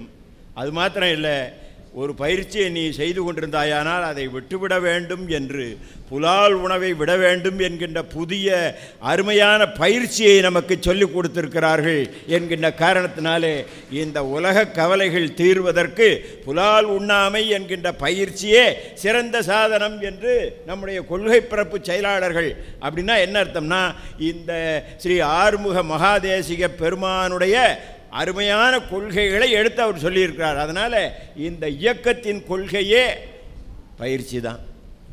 அது மாத்திரம் இல்லை நான் ரொம்ப நாளாக சந்திக்கலன்னு நினச்சி என்னை போட்டு வங்கோலை பண்ணுற மாதிரி என்ன அருமையான கருத்துக்களை எல்லாம் சொல்லி என்னை மிரட்டி இருக்கார் அருமை நண்பர் சின்னப்பா அவர்கள். நான் அவரை சின்னப்பா நான் சொல்கிறது அவர் பெரிய அப்பாப்பா அதில் என்ன ஒரு விஷயம்னா அவர் எதில் பெரியப்பா அப்படின்னு சொன்னால் அருமையாக எடுத்த உடனேயே அகரமும் மாகின்னு ஆரம்பித்து ஒரு அருமையான திருப்புகழ் சொன்னார். அதுக்கப்புறம் இத்தாரணைக்குள் என்று அருமையான ஒரு திருப்புகழை சொன்னார். அதுக்கப்புறம் கந்துக மதக்கரியை என்று சொன்ன தாய்மானவர் பாடலை சொன்னார். இப்படி இத்தனை பாடலையும் சொன்னது மாத்திரம் இல்லாமல் உட்காந்து எந்திரிச்சு எப்படி செய்யணும் என்ன ஏது என்பதையெல்லாம் சொன்னார். இவை எல்லாம் செய்வதற்கு இந்த பட்டிமன்றத்தில் நாம் வாதாடினோமானால் எப்படி வெற்றி பெறலாம்ங்கிற ஒரு கவலையோடு வந்து வாதாடி அவற்றை சொல்வதற்கு எத்தகைய பயிற்சியை அவர் மேற்கொண்டிருக்கிறார் என்பதை பாருங்கள் அவர் கொண்டிருக்கக்கூடிய பயிற்சி அவருடைய மனக்கவலையை தீர்த்து அவர் கட்சியை வெல்ல வைத்து விடுமோ என்கின்ற ஒரு ஐயத்தை நமக்கு உண்டாக்கி இருக்கிறது ஆனால் நடுவர் ஆயம் என்ன? சாதாரண ஆயமா? சைவத்தினுடைய அருமையான கலைக்களஞ்சியத்தை இந்த உலகத்திலே ஓடவிட்டு உலகம் உள்ளளவும் தன்னுடைய புகழை நிலைநிறுத்தி கொண்டிருக்கக்கூடிய அருமை நடுவர் பெருந்தகை அவர்கள் இருக்கிறார்கள். அவர்கள் சொல்வார்கள் எது மனக்கவலையை தீர்க்கும்? என்று. பக்தி என்றால் என்ன என்று விளக்காமலே உன் பேச்சை முடிச்சிட்டேயா என்று நாசுக்காக சொல்லி பக்தினா என்ன? Kindly give a definition about bhakti என்று அவருக்கே உரிய ஆங்கிலத்தில் சொன்னார்கள் பாருங்கள் அதுலேருந்தே நமக்கு தெரியுது. பயிற்சியை சொல்லிவிட்டு அதுக்கப்புறம் பக்தியை சொன்னார். இதில் வேறு ரேசகம் பூரகம் கும்பகம் என்று மூச்சை இழுத்து விடுற பயிற்சி முதலிய தூங்கையிலே வாங்குகின்ற மூச்சு சுழிமாறி போனாலும் போச்சு. சித்தர்கள் சொன்ன வார்த்தை. அது மாத்திரம் இல்லை காற்றை அடக்கும் கணக்கு அறிவில்லா அறிவார் இல்லைன்னு சொன்னாரே தவிர அந்த கணக்கு அருமையான பயிற்சிகள் நமக்கு சொல்லி தந்திருக்காங்க. காலையில் எந்திரிச்ச உடனே மூச்சை அடக்கி ஒரு கொஞ்ச நேரம் இழுத்து அதுக்கப்புறம் அதை கும்பித்து அதுக்கப்புறம் வெளியில் விடுவதாகிய பயிற்சிக்கு பிராணாயாமம்னு பேர். இந்த பிராணாயாம பயிற்சியை நாள்தோறும் செய்து கொண்டிருந்தோமானால் நம்முடைய இதயம் சுத்தமாகி நுரையீரல் சிறப்பாகி நம்முடைய உடம்புல ரத்த ஓட்டம் ஓடி நம்முடைய வாழ்க்கையில் நோய் என்கின்ற கவலையே இல்லாமல் போய்விடும். ஆக இந்த பிராணாயாம பயிற்சியை தான் இவர் இவ்வளவு நேரம் ரேசகம் பும்பகம் பூரகம் என்று சொல்லி அதை பக்தின்னு நைஸாக மாற்றி விட்டுருக்கார். அவர் ரொம்ப சாமர்த்தியசாலி. அதாவது சில சமயம் கவலைகள் நமக்கு உண்டாகும் அப்படின்னு சொன்னால் அந்த கவலைகள் தேவையான கவலையாக இருக்கலாம். சில கவலைகள் தேவையில்லாமல் கவலையாக இருக்கும். ஒன்றும் இல்லை ஒரு சாதாரணமாக ஒரு வீட்டில் யாரோ செத்து போட்டாங்க. அந்த வாசலில் நாலஞ்சு பேர் கூடி நின்று பேசிட்டு இருந்தாங்க. ஒருத்தன் போனான் என்னையா விஷயம்? அப்படின்னாரு. இல்லை எங்களுக்கு ஒரே கவலையாக இருக்குண்ணா. என்ன கவலைன்னா? இல்லை இந்த செத்து போயிட்டுதே இந்த பணம் ஆமாம் இதை பொ- இதை வந்து புதைக்கிறதா எரிக்கிறதா? அப்படிங்கிறதா எங்களுக்குள்ள ஒரு பெரிய பிரச்சனைனா என்னையா சொல்கிற இல்லை எதில் என்னையா அவனுக்கு பிரச்சனை? இல்லை எரிச்சிட்டா பரவாயில்ல. புதைச்சாதான் பெரிய கவலை உண்டாயிடும்னா ஏன் என்ன விஷயம்? புதைச்சா என்ன ஆகும்? இல்லை புதைச்ச இடத்துல புல்லு முளைக்குமா? முளைக்காதான்னு புதிய கவலை உண்டாயிடும்னா அடப்பாவிகளா புல் நீ ஏன்ப்பா இந்த கவலைப்படுற? இல்லை புல் முளைக்காட்டாலும் பரவாயில்ல. புல் முளைச்சாதான் இன்னும் புதிய கவலை உண்டாகும்னா. என்ன விஷயம்? புல் முளைச்சா அது மாடு சாப்பிடுமா சாப்பிடாதா? என்னடா இப்படி பெரிய கவலையாக வளர்ந்துட்டு இருக்க? மாடு சாப்பிட்டாட்டாலும் பரவாயில்லைங்க. மாடு சாப்பிட்டாதான் பெரிய கவலைன்னா. என்ன கவலை? அது பால் கறக்குமா கறக்காதான்னு? சரி பால் கறக்காட்டாலும் பரவாயில்ல. பால் கறந்தாதான் பெரிய கவலை. தான் என்னையா கவலை? இல்லை அதை மனுஷன் சாப்பிடலாமா கூடாதா? மனுஷன் சாப்பிடாட்டாலும் பரவாயில்ல. மனுஷன் அதை சாப்பிட்டுட்டானா பெரிய கவலைன்னா என்ன கவலையா? பெரிய கவலை. சாப்பிட்டுட்டானா அவன் உயிரோடு இருப்பானா? செத்து போயிடுவான்? அவன் சாகாட்டா கவலை இல்லை. செத்து போனாதான் கவலைன்னா என்ன விஷயம்? அவனை எரிக்கிறதா புதைக்கிறதா? இந்த மாதிரி ஒரு பெரிய கவலையை தேவையில்லாத கவலையை கொண்டு வந்து நமக்கு கொடுத்துட்டு பயிற்சியினால எல்லா கவலைகளும் தீர்ந்துருயா? பயிற்சிங்கிறது என்ன? நல்லா நினச்சி பாருங்க நம்ம பெரிய புலவர்கள்லாம் சொல்லி வைத்திருக்கக்கூடிய பயிற்சி மிகச்சிறந்தது. சித்திரமும் கைப்பழக்கம் செந்தமிழும் நாப்பழக்கம் வைத்ததொரு கல்வி மனப்பழக்கம். அதுக்கு அடுத்த வரிகளும் நல்லது தான் நான் சொல்ல வேண்டாம். ஆனால் இந்த மூணை மாத்திரம் சொல்லுகிறேன். சித்திரமும் கைப்பழக்கம் உடம்பு பயிற்சி. செந்தமிழும் நாப்பழக்கம் வாய்ப்பயிற்சி. வைத்ததொரு கல்வி மனப்பழக்கம் ம மனப்பயிற்சி. மனம் மொழி மெய் ஆகிய மூன்றாலும் நீ பயிற்சியை நீ செய்து கொண்டாயானால் உனக்கு எழுத படிக்க வரவில்லையே வாழ்க்கையில் வளத்தை ஈட்ட முடியவில்லையே நாம் சிறப்பாக உழைக்க முடியவில்லையே என்கின்ற கவலை எதுவுமே வராது. ஆகவே இந்த செய்த்திரமும் கைப்பழக்கம் செந்தமிழும் நாப்பழக்கம் வைத்ததொரு கல்வி மனப்பழக்கம் இவையே பயிற்சி என்றால் என்ன என்கின்ற உங்கள் கேள்விக்கு நான் பதிலையும் இப்போ சொல்லிட்டேன். ஏன்னா நான் முடிச்சதுக்கப்புறம் ராமூர்த்தி இன்னும் பயிற்சியை பற்றி நீ எதுவுமே சொல்லலையே. அப்படின்னு நடுவராயம் கவனிக்காம விட்டாலும் இல்ல. இல்ல உங்ககிட்ட பயிற்சி என்னன்னு நான் இனிமே கேட்க மாட்டேன். ஆனா பக்தி என்னன்னு நீங்க சொல்லுங்க. ஆ, அதை நான் சொல்றேன். பக்தி என்பது இந்த மூன்று பயிற்சியில ஒரு பயிற்சி அது பேர் மனப்பயிற்சி. பக்- பக்தியே மனப்பயிற்சி தான். பக்தி என்பதை நிலை பெறுமாறு எண்ணுதியல் நெஞ்சே நீவா நித்தமும் எம் பெருமான் தன் கோயில் புக்கு. புலர்வதுன் முன் மெழுக்கிட்டு அலகிட்டு மெழுக்கும் இட்டு பூமாலை புனைந்தேத்தி போற்றி பாடி. தலையாரக்கும் தலையார கும்பிட்டு கூத்தும் ஆடி. சண்பா- ச- சங்கரா போற்றி ஜய போற்றி என்று அலை புனல் சேர் செஞ்சடையம் ஆதி என்றும் ஆரூரா என்றென்றும் அலலாறு இல்லைன்னு நிலை பெறுவதற்கு என்ன வழி? நாம் நிலை பெற முடியவில்லையேன்னு கவலைப்படாதே. நீ நாள்தோறும் இந்த அருமையான பயிற்சிகளில் கோயிலில் நீ செய்தாயானால் இந்த உட்கார்றது இந்த அர்த்தாசனம் இந்த பத்மாசனம் இந்த ஆசனம்லாம் இல்லாமல் இது அத்தனையும் இந்த வீட்டு வேலையை செய்கிற மாதிரி கோயில் பணிகளை செய்தே இந்த பயிற்சியினால் உனக்கு எதிர்கால கவலைகள் அனைத்தும் நீங்கிவிடும் என்று அருமையாக அப்பரடிகள் சொல்லி வைத்திருக்கிறார். இங்கே பெரியவங்கள்லாம் சொல்லி வச்சுருக்காங்க. இந்த பெரியவர்கள் சொன்னதையெல்லாம் திரும்பி திரும்பி நாம் சொல்லணும்னா அவங்க சொன்னதை திரும்பி சொல்லி நாம் பயிற்சி பெற வேண்டும். பயிற்சி இல்லை என்று சொன்னால் எதுவுமே நடக்கவே நடக்காது. அது மாத்திரம் இல்லை நம்முடைய ஐயா மகாதேசிக சுவாமிகள் அவர்கள் என்னென்னலாம் சொல்லியிருக்காங்கிறத நினச்சி நான் பார்க்குறேன். திருக்குறளை கையில் வைத்து கொண்டிருந்தார். நினச்சி பார்க்குறேன் நான்.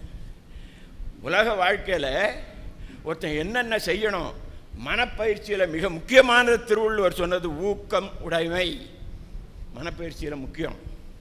உள்ள எழுச்சின்னு பேர் அதற்கு. அதை அப்படியே உடம்பில் மாற்றி கொண்டோமானால் ஆழ்வினை உடைமை அது முயற்சி என்கின்ற உடல் பயிற்சி. அதுக்கப்புறம் சொல்வன்மை நாக்குக்கு பயிற்சி. இவையெல்லாம் வரிசையாக அதிகாரங்களில் அடுக்கிக்கொண்டே வருகிறார் பெருந்தகை. வள்ளுவ பெருந்தகையினுடைய அருமையான திருக்குறளில் வரிசையாக சொல்வதெல்லாம் இதுதான். மெய்யே உணர்தல் ஆழ்வினை உடைமை மொழிக்கு வந்து சொல்வன்மை மனம் என்பது இருக்கிறது அதுக்கு வந்து ஊக்கம் உடைமை அப்புறம் கஷ்டப்படுறான். இதை நம்மளால் செய்ய முடியலையே. நாம் என்ன பண்ண போகிறோம்? குடும்பத்தை காப்பாற்ற போகிறோமா இந்த பெரிய பாடப்படிப்பெல்லாம் படிக்க போகிறோமா இதில் மார்க்கெல்லாம் வாங்க போகிறோமான்னு கவலைப்படுவான். உலகத்தில் நாம் படிக்கிறவன் நிறைய மார்க் வாங்கணும்னு கவலைப்படுவான். வேலை பார்க்குறவன் நிறைய சம்பளம் வேணும்னு கவலைப்படுவான். குடும்பத்தை விருத்தி பண்ணுறவன் இந்த குடும்பத்தை காப்பாற்றணுமேன்னு கவலைப்படுவான். இப்படியெல்லாம் கவலைப்படும் போது ஒன்று என்ன தெரியுமா நினைப்பான்? ஐயோ எவ்வளவு அரிய செயல் எவ்வளவு அரிய செயல் என்று சொல்கிறான் அருமை உடைத்து என்று அசாவாமை வேண்டும். இது செய்ய முடியாது என்று நீ ஒரு காலத்திலையும் பின் தங்கி தயங்கி நின்று விடாதே. என்ன? பெருமை முயற்சி தரும். நீ செய்கின்ற பயிற்சிகள் உனக்கு அரிய செய்திகளை எல்லாம் எளியதாக ஆக்கிவிடும் என்று மிக அருமையாக சொல்லியிருக்கிறார். அது மாத்திரமில்லை. பொறியின்மை யாருக்கும் பழி அன்று. சில பேருக்கு கை கால் உறுப்பு குறைபாடுகள்லாம் உண்டாயிடும். அந்த உறுப்பு குறைபாடுகள் உண்டானதுக்கப்புறம் என்னால் ஒன்றும் பண்ண முடியாதே என்று நினைக்க வேண்டாம். நீங்கள் என்ன பண்ணோம் இருக்கிற உறுப்புகளை பயன்படுத்தி கொள்ளுங்கள். கோயில்பட்டி ராமையா பிள்ளைன்னு ஒருத்தர் கண்ணே தெரியாமல் இருந்தார். அவ்வளவு குரலையும் ஒப்பிப்பது மாத்திரமில்லாமல் எத்தனை வகையான அவதானங்களை சிறப்பாக செய்து வாழ்க்கையிலே பயிற்சி என்னவற்றையெல்லாம் கொண்டு வந்து கொடுக்கும் அவருடைய கவலையே அவருடைய பயிற்சிகள் தீர்த்துவிட்டு அவருடைய மகனையே இன்றைக்கு உலக புகழ் வாய்ந்த ஒரு மிகச்சிறந்த கவனக்கலை இயக்குனராக மாற்றி இருக்கிறது என்று நான் சொன்னால் பயிற்சிங்கிறது ஒன்றும் கஷ்டம் இல்லைங்க. என்னமோ பயிற்சி செய்யறது கஷ்டங்கிறா. நீங்கள் காலையில் தூங்கி எழுந்திரிக்கணும் பல்ல ஒழுங்காக தேய்க்கணும். அதுக்கப்புறம் நடக்கணும்? கோயில் வளம் வர வேண்டும். அதுக்கப்புறம் நான் நான் மற்ற காரியங்கள் எல்லாம் செய்யணும். எல்லாவற்றையும் சோம்பேறித்தனம் இல்லாமல் செய்து கொண்டிருந்தீர்கள். அதனால் அதுவே பயிற்சி. இதுக்காக நீங்கள் போய் இப்போ கவலைப்பட வேண்டிய அவசியமே இல்லை. இப்போ எல்லாத்துக்கும் ரிமோட் கண்ட்ரோல் வந்துடுச்சு. கையில் இந்த ரிமோட் கண்ட்ரோல் வச்சுட்டு அவன் பாட்டுக்கு போகிறான் ஒருத்தன் ஒருத்தன் என்ன பண்ணான்? சரியாக ஃபோன் கிடைக்கலங்கிறதுக்காக இது மேலேயே ஏறிட்டான். அந்த தவறு மேலேயே. அது மேலேயே ஏறி அங்கே போய் ஆலோ ஆலோன்னா ஏய் ஏன்டா என்ன விஷயம்? சிக்னலே கிடைக்கலையா? இங்கேயாவது கிடைக்குமான்னு பார்க்குறேன். அது சரி உனக்கு எந்த காலத்துலேயும் சிக்னல் கிடைக்காது. நீ கையில் வச்சுருக்கிறது ஃபோனே இல்லை ரிமோட் கண்ட்ரோல்டா இறங்குடா கீழே. அந்த மாதிரி நம்மால் இருக்கானே. அவன் பயிற்சி என்பது இல்லாமல் எதை எவ்வாறு கையாளுவது என்கின்ற அந்த செயலே இல்லாமல் இருக்க வேண்டும். அது மாத்திரம் இல்லை மனசில் ஒருவருக்கு ஊக்கம் இருந்ததுன்னா அதுதான் மிகச்சிறந்த உருவம். உரம். உரம் ஒருவருக்கு உள்ள வெறுக்கை. அஃது எல்லார் மரம். மக்களாதலே நன்றி என்று மிகச்சிறப்பாக சொல்லியிருக்கார். இன்னும் ஒரே ஒரு செய்தி நல்ல செய்தி. சோம்பேறித்தனம் இல்லாமல் இருப்பது. அது என்னங்க சோம்பேறித்தனம் இல்லாமல் இருக்கிறதுனா செய்யறத அப்புறம் செய்வோம்னு போடாமல் இருக்கிறது. இதுதாங்க பயிற்சி.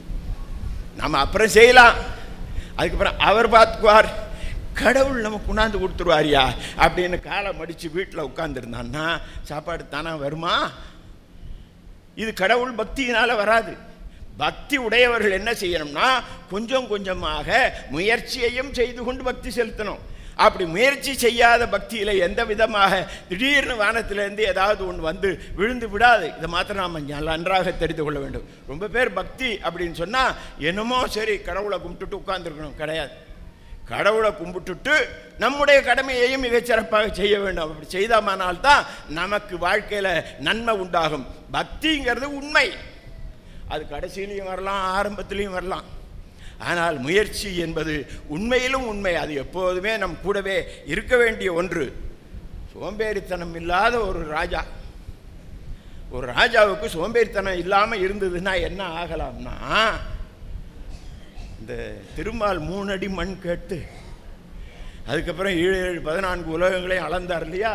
அது அத்தனையையும் இந்த இடத்துல இருந்து கொண்டே பெற்றுவிடலாம் என்கிறார் திருவள்ளுவர். மடியிலா மன்னவன் எய்தும் அடி அளந்தான் தாயதெல்லாம் வருங்க அதில் ஒரு பெரிய நுட்பம் என்னன்னா சோம்பேறித்தனம் இல்லாத நியாயமான அற உணர்வுடைய மன்னன் அடியளந்தான் தாயதெல்லாம்னா பொய் சொல்லி ஏமாற்றி இந்த உலகத்தை மூணு அடி மண் கேட்டு சின்ன பயலாட்டம் இருந்து அதுக்கப்புறம் விஸ்வரூபம் எடுத்து ஏமாற்றி பெற்ற அந்த வளத்தை விட அதிகமான வளத்தை ஒருவன் பயிற்சியினாலே பெற்று விடலாம் என்று வள்ளுவர் அந்த மிகப்பெரிய உலகளந்த ஆண்டவனை விட அதிகமுடைய சிறப்புடையவனாக மிகச் சிறப்பாக அவர்கள் சொல்லுகிறார்கள். இடுக்கண் அழியாமை இப்பேற்பட்ட அதிகாரம். திருவள்ளுவர் சொன்னதுதான். இடுக்கண் அழியாமை என்று சொன்னால் அது ரொம்ப ஆச்சரியம். பையன் பரீட்சை எழுத போகிறான் அப்படி பேப்பரை வாங்குகிறான் வாங்கின உடனே சிரிக்கிறான். உடனே அந்த எக்ஸாமினர் வந்தார் பார்த்தார் என்னடா சிரிக்கிறேனார் இல்லை சார் திருவள்ளுவர் சொன்னது சரிதான்.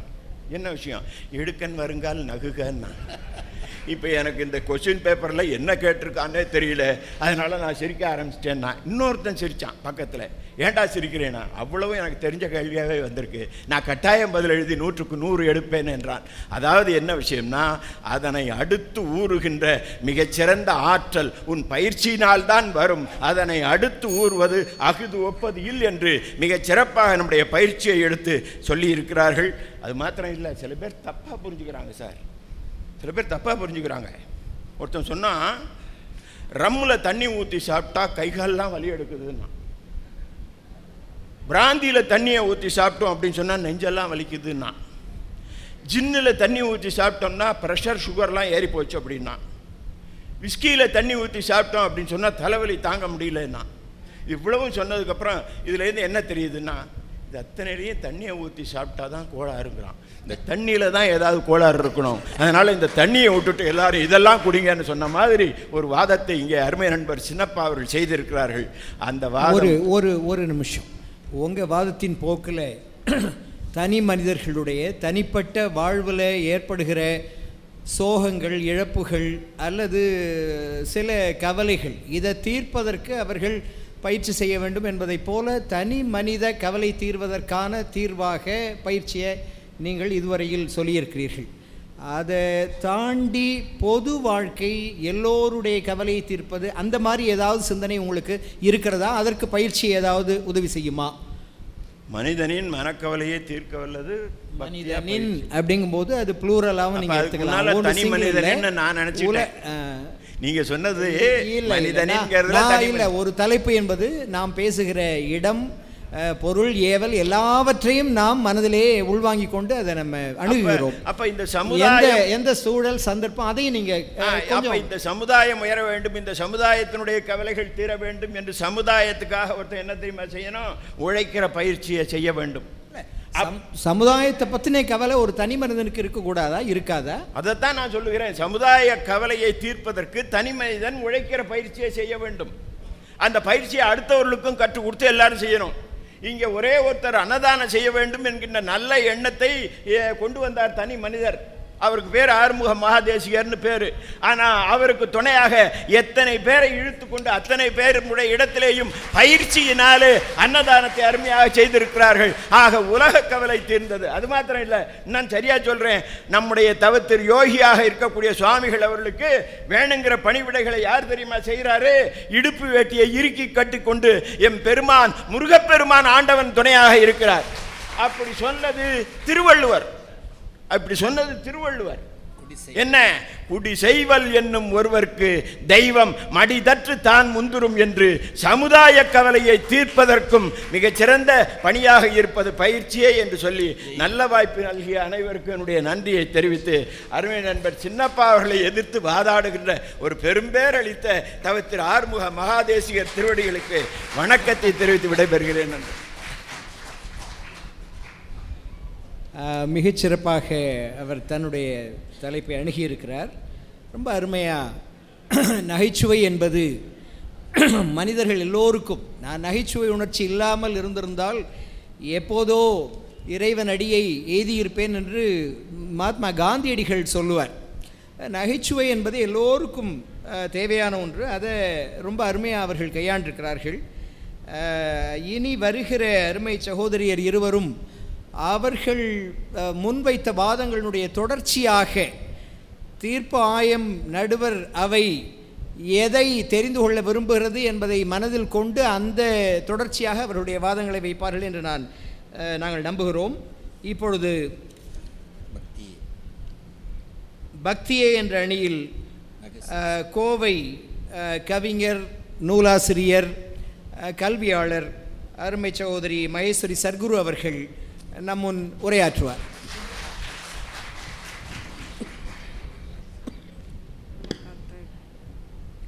பின்னொரு ராவினிலே கரும்பெண்மை அழகொன்று வந்தது. கண்முன்பே கன்னி வடிவமென்று களிகண்டு சற்றே அருகிற் சென்று பார்க்கையில் அன்னை வடிவமடா இவள் ஆதிபராசக்தி தேவியடா. இவள் இன்னருள் வேண்டுமடா பின்னர் யாவும் உலகில் வசப்பட்டு போமடா என்று பாடி எனக்கு சர்க்குருவாய் வந்திருக்கின்ற மகாகவி பாரதியை வணங்கி நான் இங்கே வந்த பொழுது திரு பூபதி அவர்களிடமும் மற்றும் என்னை அழைத்து வந்த திரு சகோதரர் அனைவரிடமுமே கேட்ட கேள்வி இதுதான். எனக்கு இங்கே வந்த உடனே ஒன்று தோணுதுங்க. ராஜராஜ சோழன் காலத்தில் எப்படி அன்னதானம் வரிசையாக நடைபெற்றதோ அது மாதிரி இருக்குன்ன உடனே அவர்கள் சொன்ன ப பதில் எங்களுடைய குருமகானும் முற்காலத்தில் ராஜராஜ சோழனாகத்தான் இருந்திருக்கிறார் என்று சொன்னதை கேட்டு நெகிழ்ந்தேன். செய்கதவம் செய்கதவம் நெஞ்சே தவம் செய்தால் எய்த விரும்பியதை எய்தலாம். வையகத்தில் அன்பிற் சிறந்த தவமில்லை. அன்புடையோர் இன்புற்று வாழ்தல் இயல்பு என்கின்ற பாரதியின் இலக்கணத்திற்கு ஒரு நல்ல மகா குரு இருப்பார் என்று சொன்னால் அது நிச்சயமாக ஓங்காரக்குடிலினுடைய குரு அவர்கள்தான் என்பதிலே உங்கள் அனைவரின் சார்பிலும் நான் சொல்லிக் கொள்கின்றேன். எல்லையில்லா ஆனந்தமளித்து அல்லல் களைந்தே அருள்வழி காட்டி சத்தத்தினுள்ளே சதாசிவம் காட்டி சித்தத்தினுள்ளே சிவலிங்கம் காட்டி அணுவிற்கணுவாய் அப்பாலுக்கு அப்பாலாய் நின்று கனிமுற்றி நின்ற கரும்புள்ளை காட்டுவான் எம்பெருமான் விநாயகப் பெருமான். அதுபோக கணபதி என்றால் செல்வமெல்லாம் தருவாள். இங்கேயும் கூட செல்வத்தை சொற்செல்வத்தை தரக்கூடிய ஒரு செல்வ கணபதி ஐயா அவர்கள் அமர்ந்திருக்கின்றார். ஸ்ரீ கிருஷ்ணா ஸ்வீட்ஸ் ஆத்மார்த்தமாக நடத்தி கொண்டிருக்கின்ற எப்போ வருவாரோ என்கின்ற நிகழ்விலே தொடர்ந்து ஒன்பது ஆண்டுகளாக நான் நிகழ்ச்சி தொகுப்பாளராக இருக்கின்றேன் என்கின்ற பெருமிதம் இருந்த போதும். அதிலே ஒரு மிகப்பெரிய பெருமிதம் எது என்று சொன்னால் திரு கிருஷ்ணன் அவர்கள் அன்பொழுக தருகின்ற ஞானச்செம்மல் விருது. அந்த ஞானச்செம்மல் விருதை பெறுவது என்பது அவ்வளவு எளிதான காரியம் அல்ல அவர் போற்றிய ஊவேசா தாத்தா அவர்களுக்கு கொடுத்த விருதை போன்ற விருது அது. அந்த விருதை ஞானச்செம்மல் விருதை பெற்றவர்தான் நம்முடைய கலைக்களஞ்சியத்தை தந்த ஐயா செல்வகணபதி ஐயா அவர்கள். ஒரே ஒரு வரி அவரை பற்றி சொல்லணும். அதாவது பெரிய புராணத்தை சேக்கிழார் பெருமான் தந்தார். உண்மைதான். ஆனால் சேக்கிழாரை இந்த கலியுக காலத்திலே பொதுஜனங்களுக்கு கொண்டு சென்ற ஒருவர் உண்டு என்று சொன்னால் அது நிச்சயமாக ஐயா செல்வகணபதி ஐயா அவர்கள்தான். அவர்கள் நூறாண்டு காலம் வாழ்ந்து எங்களையெல்லாம் வழி நடத்த வேண்டும் என்று அன்னாரை கேட்டுக்கொண்டு அன்னாரை கேட்குறதுன்னா அவர்கிட்ட இருக்க உள்ளே இருக்கின்ற இறைவனை பக்தி பெருக்கோடு கேட்டுக்கிறோம். இங்கே நடந்த ஒரு நிகழ்ச்சி பார்த்தீங்களா திருநாவுக்கரசர் பெருமான் வேதாரண்யத்தில் எப்படி கதவை தாழ் நீக்கினாரோ அடுத்த திருஞான சம்பந்தர் பெருமான் கதவை மூடினாரோ அதே போன்று இங்கேயும் நடந்த செய்திதான். இந்த பட்டிமன்றம் என்கின்ற மிகப்பெரிய கதவை திருநாவுக்கரசர் பெருமானின் வழித்தோன்றலாக வந்திருந்த நம் ஐயா அவர்கள் திறந்து வைக்க அதை நிறைவு செய்வதற்காக ஐயா சோதி ராமகிருஷ்ணா ஐயா அவர்கள் வந்திருக்கிறார்கள். அவர்களுக்கும் என்னுடைய மனமார்ந்த நன்றிகளையும் வணக்கங்களையும் தெரிவித்துக் கொள்கின்றேன். அடுத்து பேச்சாளராக மிகவும் எல்லோருமே மூவர் முதலிகளாக அமர்ந்திருக்கின்ற இந்த பேச்சாளர் பெருமக்களுக்கும் உங்கள் அனைவரின் சார்பிலும் வணக்கத்தை சொல்லிக்கொண்டு பார்ப்பீங்க வந்ததுலேருந்து இந்த அம்மா வணக்கமே போட்டிருக்காங்க. எப்போ நிகழ்ச்சிக்கு தலைப்புக்கு வருவாங்க அப்படின்னு. சரி தலைப்புக்கு வருவோம். நான் கேட்குறேங்க உங்ககிட்ட. இப்போ இங்கே வந்தவங்க எத்தனை பேர் கவலையாக வந்திருக்கீங்க? கை தூக்குங்க பார்க்கலாம். யாருமே தூக்க முடியாது. ஏன்னா இங்கே வந்திருக்கவங்களுக்கு எல்லாத்துக்கும் ஒரு கவலையும் கிடையாது. இங்கே வந்து பயிற்சி பண்ணிட்டா வந்திருக்கீங்க. அப்படி மூச்சு பிடிச்சி இப்படி மூச்சு பிடிச்சி உடற்பயிற்சி வாக்கிங் எல்லாம் போயிட்டா இல்லவே இல்லை. வந்தவர்கள் எல்லாம் மெய்யுருகி இங்கே வந்தமா நம்ம கவலை போச்சு அப்படிங்கிற ஒரு பக்தி பெருக்கோட வந்திருக்கிறதுனால தான் கவலை இல்லாமல் உட்கார்ந்துருக்க முடியுது. அதுதான் எங்களுடைய வாதம் இல்லைங்களா? இப்போ இவர் அண்ணன் வந்தார். நம்ம ராமூர்த்தி அண்ணன் மிகச்சிறந்த பேச்சாளர். எல்லாம் சரி. ஆனால் வந்ததுலேருந்து என்ன சொன்னார்னா பயிற்சியை பற்றியே சொல்லிட்டு வந்தார். இப்போ உடற்பயிற்சி எடுத்துக்கோங்க. இன்னத்து தேதியில் நடக்கிற உடற்பயிற்சி எப்படி நடக்குது? வாக்கிங் போவாங்க. முழுக்க வாக்கிங்கும் சைக்கிளிங்கும் என்னென்ன என்னென்ன இருக்கோ ட்ரெண்டு மில்ல எல்லாம் பண்ணுவாங்க. பண்ணி முடித்த உடனே வாழைத்தண்டு ஜூஸு வாழைத்தண்டு சூப்பு அப்புறம் இன்னும் என்னென்ன சூப் இருக்கோ அதெல்லாம் குடிச்சிட்டு கூடவே போண்டா பஜ்ஜி எல்லாம் சாப்பிட்டுட்டு உடல் பெருகினது தான் மிச்சம். பயிற்சியால் மணக்கவலை மறையவே இல்லை. அதற்கு பிற்பாடு என்ன ஆயிடுச்சுன்னா எக்ஸ்ட்ரா கவலை எல்லாம் சேர்ந்துருச்சு சுகரு ப்ரெஷரு இன்னும் லொட்டு லோஸ்க்கெல்லாம் எக்ஸ்ட்ரா வந்துருச்சு. அதுதான் அடுத்து தியானத்தை பாருங்களேன். தியானமும் அப்படிதான். தியானத்தில் போய் நீங்கள் உட்கார்ந்து பாருங்க. நம்ம நான் ஒரு சி- குறிப்பிட்ட ஒரு இடத்துக்கு போனேன். தியானங்க நீங்கள் கண்ணை மூடி உட்காரணும் நாங்கள் நான் கண்ணை மூடி உட்கார்ந்த அப்புறம் தான் எனக்கு ஞாபகம் வந்தது கேஸ் சிலிண்டர் ஆஃப் பண்ணிட்டு வந்தேன் அதுக்கப்புறம் எனக்கு ஞாபகம் வந்தது ஐயோ இந்த மாதம் எல்ஐசி பில் வந்து எல்ஐசி நம்ம கட்டணுமே இன்சூரன்ஸ் ப்ரீமியம் முடிய போகுதே. அப்புறம் காரு கட்டலையே வண்டிக்கு கட்டலையே அது கட்டலையே இது கட்டலையேன்னு வந்ததே ஒழிய கவலைகள் அதிகமானது தான் மிச்சம். மனக்கவலை செல்லாக அரித்து போனோம். இதுதான் எங்களுடைய வாதம். இப்போ பக்தினா என்ன? இறைவனிடத்தில் அளவற்ற பக்தியை அன்பை காட்டுவது தான் பக்தி. இறைவனிடத்தில் அளவற்ற அன்பை காட்டுவதுதான் பக்தி. இது அழகா திருநாவுக்கரசு பெருமான் சொன்ன பாடலே சொல்லலாம். முன்னம் அவனுடைய நாமம் கேட்டால் மூர்த்தி அவன் இருக்கும் வண்ணம் கேட்டால் பின்னை அவனுடைய ஆரூர் கேட்டால் பெயர்த்தும் அவர்க்கே பிச்சையானால் தன்னை மறந்தால் தலைப்பட்டால் நங்கை தலைவன் தாளை. இதுதானே? பக்தினா அப்படிதான். காதலாகி கசிந்து கண்ணீர் மல்கி. நீங்கள் போய் கோயிலில் நிற்கிறீங்க அப்படின்னு சொன்ன உடனே எல்லா கவலையும் மறந்துடும் முருகன்ட்ட நிற்கிறமா முருகா நீயே பார்த்துக்கோ அம்பாள்கிட்ட நிற்கிறமா அம்பாள் நீயே பார்த்துக்கோ எல்லார்கிட்டையும் பார்த்துக்கோ என்று சொல்லிவிட்ட பிறகு நமக்கெங்க இங்கே கவலை வந்து சேரும்? வருமா? வரவே வராது. பாரதியார் அழகாக சொல்லுவான். எனக்கு கவலையே இல்லை. ஏன் தெரியுமா? நீ இருக்க இல்லை பராசக்தின். அவன் பாடலையே சொல்லுவோமே. நின்னை சில வரங்கள் கேட்பேன். அவை நேரே இன்று எனக்கு தருவாய். எந்தன் முன்னை தீயவினை பயன்கள் மூளாது அழிந்திடுதல் வேண்டும். என்னை புதிய உயிராக்கி என்னை புதிய உயிராக்கி எனக்கேதும் கவலையறச் செய்து மதி தன்னை மிக தெளிவு செய்து என்றும் சந்தோஷம் கொண்டிருக்கச் செய்வாய். இதுக்கு மேல கவலை இல்லைன்னு சொல்றதுக்கு வேற ஆள் யாருங்க வேணும்? இது போதும்ல? எனக்கு கவலையே இல்லை எனக்கு கவலை. போக்க வச்சிருவேன் நீன்னு சொல்லலாம்ல? இதே தான் எப்பொழுதுமே கவலை என்பது என்ன அப்படின்னா இறைவனிடத்தில் போய் கையை நீட்டனா போதும். வாரியார் பெருமாள் அழகாக சொல்வார். திருமுருக குருபானந்த வாரியார் அடிக்கடி சொல்கிறது அப்படிதான் என்னப்பா முருகன் பார்த்துக்குவான் கச்சியப்ப சிவாச்சாரியார் சொன்னது என்ன? வாங்கும் நமக்கோ இரு கைகள் கொடுக்கும் அவனுக்கு பன்னிரண்டு கைகள். அதுக்கு மேலே என்னங்க வேணும்? முருகன்ட்டு போய் நின்று அவன் கொடுத்துட்டு போகிறான் அதை விட்டுட்டு நீங்கள் போய் தியானத்துக்குன்னு போய் உட்காந்து அதில் வேறு மாதம் ஆயிரம் ரூபா கட்டி அவங்களையும் குற்றம் சொல்லி அவங்களையும் அவங்களும் அடே அப்புறம் தான் அவங்களே யோசிப்பாங்க. பேசாம நம்மளே பக்தி பண்ணிட்டு போயிடலாம்ல இது எதுக்கு ஒரு தியானம் வேற? அப்போ தியானம் என்பது நிச்சயமாக மனக்கவலையை மாற்றாது. மனக்கவலை மாற்றச் செய்யக்கூடியது எது என்று சொன்னால் நிச்சயமாக பக்தி தான் அதனால தான் அருணகிரி பெருநாதருக்கு எப்படி வந்தது? செம்மான் மகளை திருடும் பெருமன் பு- திருடும் திருடன் பெம்மான் முருகன் பிறவான் இருவான் சும்மா இரு சொல்லறை என்றாலுமே அம்மாபொருள் ஒன்றும் அறிந்தலன். சும்மா இருன்னு சொன்னது அதைத்தானே. அட எங்கிட்ட கொடுத்துட்டு நீங்கள் பாட்டு சும்மா இருங்கப்பா. நம்ம வேலை என்ன? எதையும் சுவாமி விவேகானந்தர் சொல்லியது போன்று எல்லாம் அவன் செயல் என்று விட்டுவிட்டு செய்கின்ற வேலையை கர்மயோகியாக எப்பொழுது நாம் செய்ய கற்றுக்கொள்கின்றோமோ அப்பொழுது நிச்சயமாக மனக்கவலை தீர்ந்துவிடும். நல்லா தட்டலாங்க. இது என்ன காசை பணமாக கைத்தட்டிட்டு போகிறது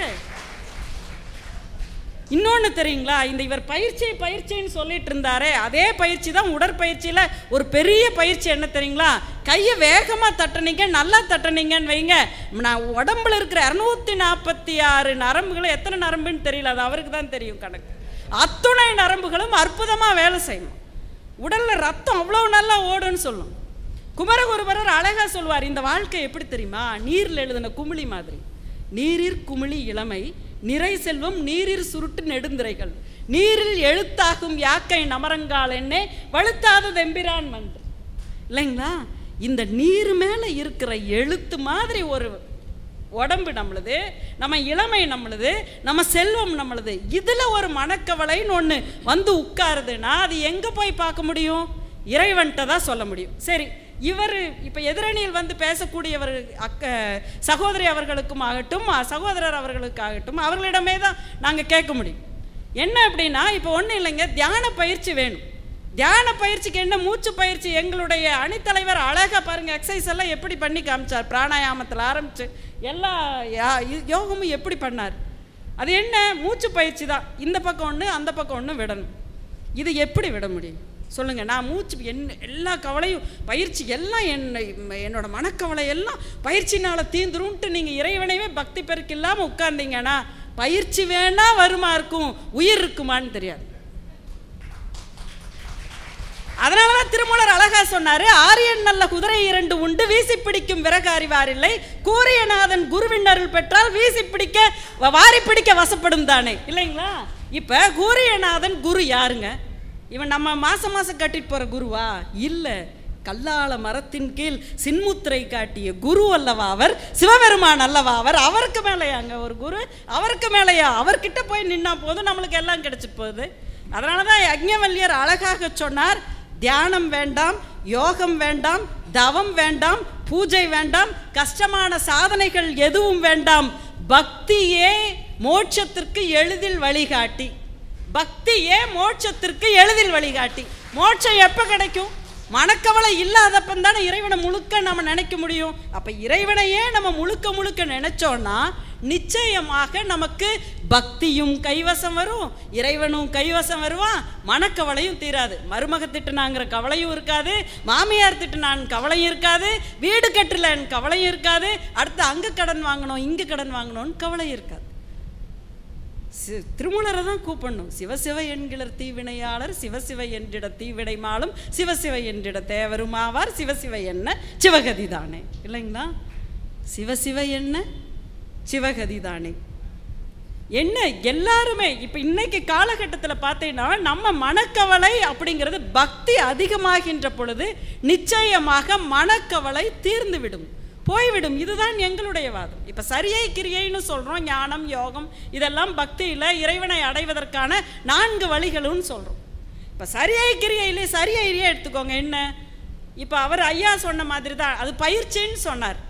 கோயிலில் போய் மெழுகிடுறது அடுத்ததாக கோலம் போடுறது கூட்டுறது பூமாலை கட்டுறது புகழ்ந்து பாடுறது திருவிளக்கிடுதல் நந்தவனத்தை பாதுகாத்தல். இப்போ யோசிச்சு பாருங்கள் மனக்கவலை. ரொம்ப நம்ம மனசு கஷ்டமாக இருக்கும். இப்போ இங்கேயே வர்றோம் மனசுக்கு சில சமயம் ஏதோ ஒரு பிரச்சனை கஷ்டம்னு வந்தோன்னா நீங்கள் அங்கே பரிமாறுறதுக்கு போய் நின்னீங்கன்னா உங்களுடைய அத்துணை மனக்கவலையும் தீர்ந்து போய் விடுகிறது அல்லவா? இதற்கு மேல் வேறு என்னங்க வேணும்?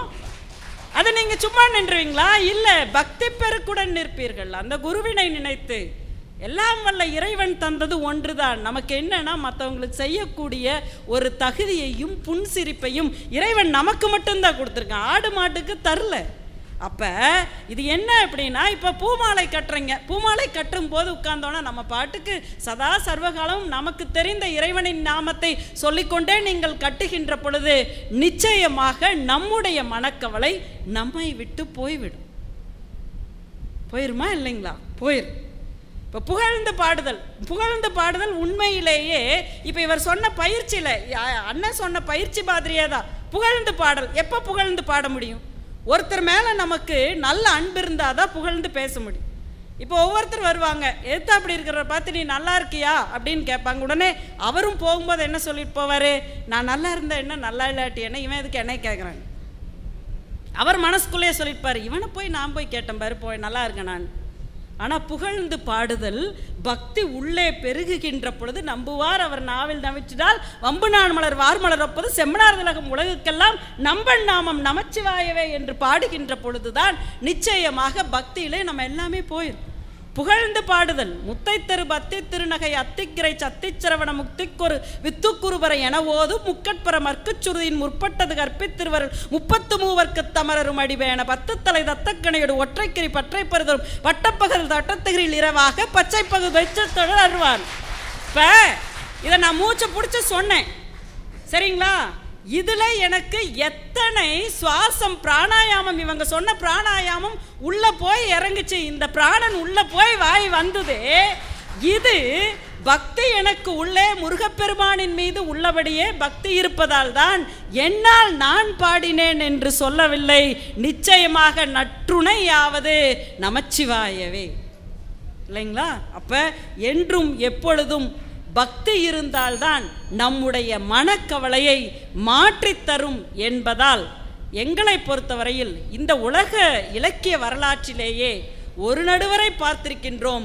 ஆனால் இரு நடுவர்கள் இருக்கின்ற ஒரு அரங்கு உண்டு என்று சொன்னால் அது நம்முடைய அரங்கமகா தேசிகர் அவர்களுடைய அரங்காகத்தான் இருக்கும் என்பதால் உங்களுடைய சார்பிலே நான் கேட்கின்றேன். நாங்கள் ரெண்டு பேர் கேட்கவே மாட்டோம். கேட்போமாண்ணா எங்களுக்கு தீர்ப்பு வேணும்னு நாங்கள் கேட்கவே மாட்டோம்.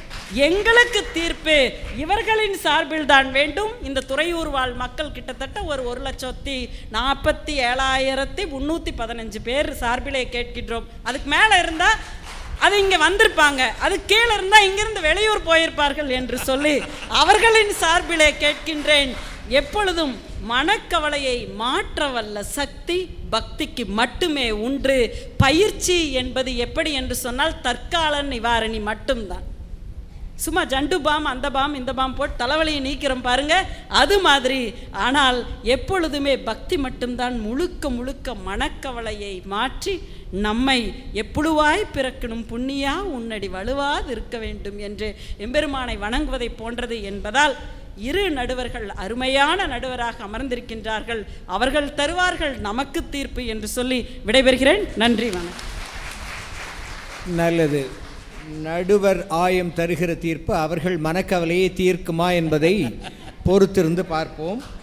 அது பயிற்சிங்கிறது டெம்பரரி ரிலீஃப் ஜண்டு பாம் மாதிரி. என்ன அருமையான உதாரணங்கள்லாம் சொன்னாங்க. அருமையாக பாடினார்கள். மிக அருமையான பேச்சு. இப்பொழுது பயிற்சி தான் மனிதனுடைய மனக்கவலையை தீர்க்க வல்லது என்பதை ஆணித்தரமாக நிறுவுவதற்காக அருமை சகோதரி கவிஞர் ருக்மணி பன்னீர்செல்வம் அவர்கள் முன்வருகிறார்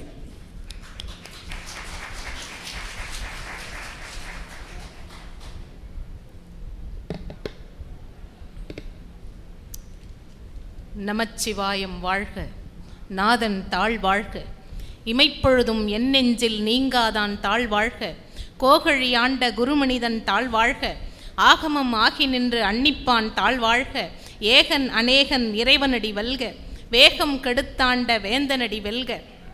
என்று சொல்லி அத்தனை ஞானிகளும் குடியிருக்கின்ற கோயிலாக திகழுகின்ற இந்த அகத்தியர் சங்கத்தை நிறுவி நாங்களெல்லாம் இங்கே வருவதற்கும் ஆசானுடைய அருளை பெறுவதற்கும் ஒரு நல்ல வாய்ப்பு வாசலை திறந்து வைத்திருக்கின்ற முதலில் ஆசான் அவர்களுக்கும் எங்கள் அன்பிற்கும் மரியாதைக்கும் பெருமைக்கும் உரிய நடுவர் பெருந்தகை செந்தமிழ் வாரதி சிவஞான கலாநிதி கலைமாமணி ஐயா அவர்களுக்கும் மிக அன்போடு எங்களை உபசரித்து வருகின்ற மக்களையெல்லாம் உபசரித்து தொண்டர்தம் பெருமை கூறவும் அரிது என்று சொல்லுகின்ற வண்ணமாய் இங்கே தொண்டர்களாய் இருந்து பணியாற்றி கொண்டிருக்கக்கூடிய அனைத்து தொண்டர்களுக்கும் திரளாக கூடியிருக்கின்ற பெருமக்களுக்கும் உங்கள் அத்தனை பேருக்குமே ஒரு நல்ல தீர்ப்பு வழங்குவதற்கு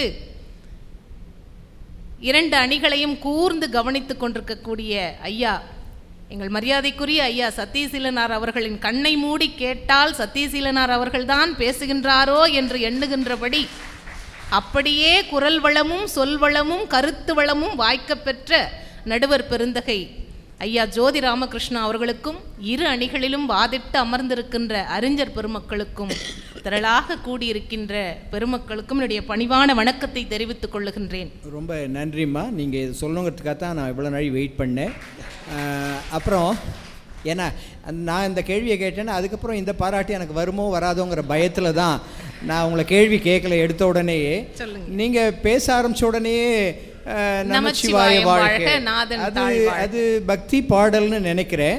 இந்த பயிற்சி அணிக்காக ஏதாவது பாடல் இருக்கா? இப்ப மகேஸ்வரி அவர்கள் மிக அற்புதமாக இங்கே பேசினார். ரொம்ப அழகா முத்தை தரு பத்தி திருநகை அத்திக்கரை சத்திச்சரவண என்கின்ற பாடலை அவர் பாடினார். ஏன்னா அவர் பாடிட்டார் அதனால மறுபடியும் நான் பாட வேண்டாம். ரொம்ப அழகா பாடிட்டு நல்ல கைத்தட்டல் வாங்கினார். அந்த பயிற்சி பெற்றிருக்கின்ற காரணத்தால் மிக சிறப்பாக பாடி கைத்தட்டல் வாங்கினார். அதற்காக நான் பாடவில்லை. சொற்றமிழால் என்னை பாடுக என்றான் தூமரை பாடும் வாயான். இல்லையா? ஆகையினால் அவன் நிரம்பி இருக்கின்ற இந்த அவையிலே அவனை பாடுவதும் ஒரு பயிற்சி தான் என்கின்ற காரணத்தால் அதை தொடங்கிவிட்டு நான் என்னுடைய உரைக்கு வருகின்றேன். சரி சரி சரி மாண்பமைந்த நீதிபதி அவர்களே எதிரணியிலிருந்து வந்து பேசிய பெருமக்கள் பயிற்சி என்றால் அதற்கு விளக்கம் தர வருகின்ற பொழுது மிகவும் தடுமாறினார்கள். பக்தி என்று சொல்ல வருகின்ற பொழுது கூட மிக தடுமாற்றத்தோடு தான் அவர்கள் பேசியிருக்கின்றார்கள். ரொம்ப அழகாக நம்ம சகோதரியை நான் முதல்ல சொல்கிறேன் அவங்க சொன்னாங்க தியானம் செய்ய நான் ஒரு இடத்திற்கு சென்றேன். அங்கே கண்ணை மூடி அமருங்கள் என்று முதலில் சொன்னார்கள். கண்ணை மூடி அமர்ந்த உடனேயே எனக்கு வீட்டில் கேஸ் நிறுத்திவிட்டு வந்தேனோ இல்லையோ என்ற சிந்தனை வந்தது. எல்ஐசி கட்ட வேண்டுமே என்ற அடுத்த சிந்தனை வந்ததுன்னு. நான் கேட்குறேன் கோயிலில் போய் உட்கார்றீங்க. பக்தியோடு தான் போகிறீங்க இதாவது பரவாயில்ல தியானத்தில் உட்காரும் போது கேஸ் நிறுத்தணுமான ஒரு உருப்படியான சிந்தனை வந்தது. இறைவன் முன்னால் நிற்கும் போது வெளியே போட்ட செருப்பு இருக்குமா இருக்காதான்னு சிந்தனை வருதே. இது பக்தியா? நான் கேட்குறேன் ஒரு கேள்வியை கேட்டா பதில் வர வரைக்கும் காத்துக்கிட்டு இருக்கணும். நீங்களே கேள்வி கேட்டு நீங்களே பதில் சொல்றது இது என்னமா சர்வாதிகாரமா அல்ல இருக்கு? இங்க வந்திருக்கீங்களே உங்கள் அத்தனை பேரையும் பார்த்து நான் ஒரு கேள்வி கேட்கின்றேன் அவங்க சொன்னது. உங்களுக்கு எல்லாம் கவலை இருக்கின்றதா? இல்லவே இல்லை. அவங்களே சொல்லிட்டாங்க. ஏங்க இல்லை? ஏன் இல்லை? வயிற்று பசியோடு வருகின்ற பொழுது கவலை இருந்தது. இங்கே இந்த தொடர் பயிற்சியாக நடந்து கொண்டிருக்கின்ற அன்னதானத்தால் வயிறும் நிறைந்து மனமும் குளிர்ந்த பொழுது அமைதியாக கவலையின்றி உட்கார்ந்து கொண்டிருக்க முடிகின்றது. அந்த அருட்பிரசாதத்திற்காக மட்டும் நான் சொல்லவில்லை. ஆசானுடைய அருளை பெறுகின்ற பொழுதும் மனக்கவலை நீங்குகின்றது என்பதற்காக நான் அதை சொல்லுகின்றேன். இல்லையா? ஐயா அவர்கள் சொன்னார்கள் சிந்தையை அடக்கியே சும்மா இருத்தல் அரிது என்று வெந்தழனில் ரதம் வைத்து ஓதலாம். அந்த பாடல் ரொம்ப அழகா சொல்லிட்டே வந்தாங்க. அப்ப சிந்தையை அடக்கியே சும்மா இருத்தல் அரிது சிந்தையை அடக்குவது எப்போது வாய்க்கும்? நீதிபதி அவர்களே புத்தர் தவம் செய்தார். அவங்க சொன்னாங்க மகேஸ்வரி ஆரம்பிக்கின்ற பொழுதே செய்க தவம் நெஞ்சே செய்க தவம் என்கின்ற மகாகவி பாரதியினுடைய பாடலை அவர்கள் எடுத்துச் சொன்னார்கள். தவம் என்பது என்ன? தவம் என்பது என்ன பக்தி என்று நினைத்துக் கொண்டிருக்கின்றீர்களா? தவம் பக்தி இல்லை.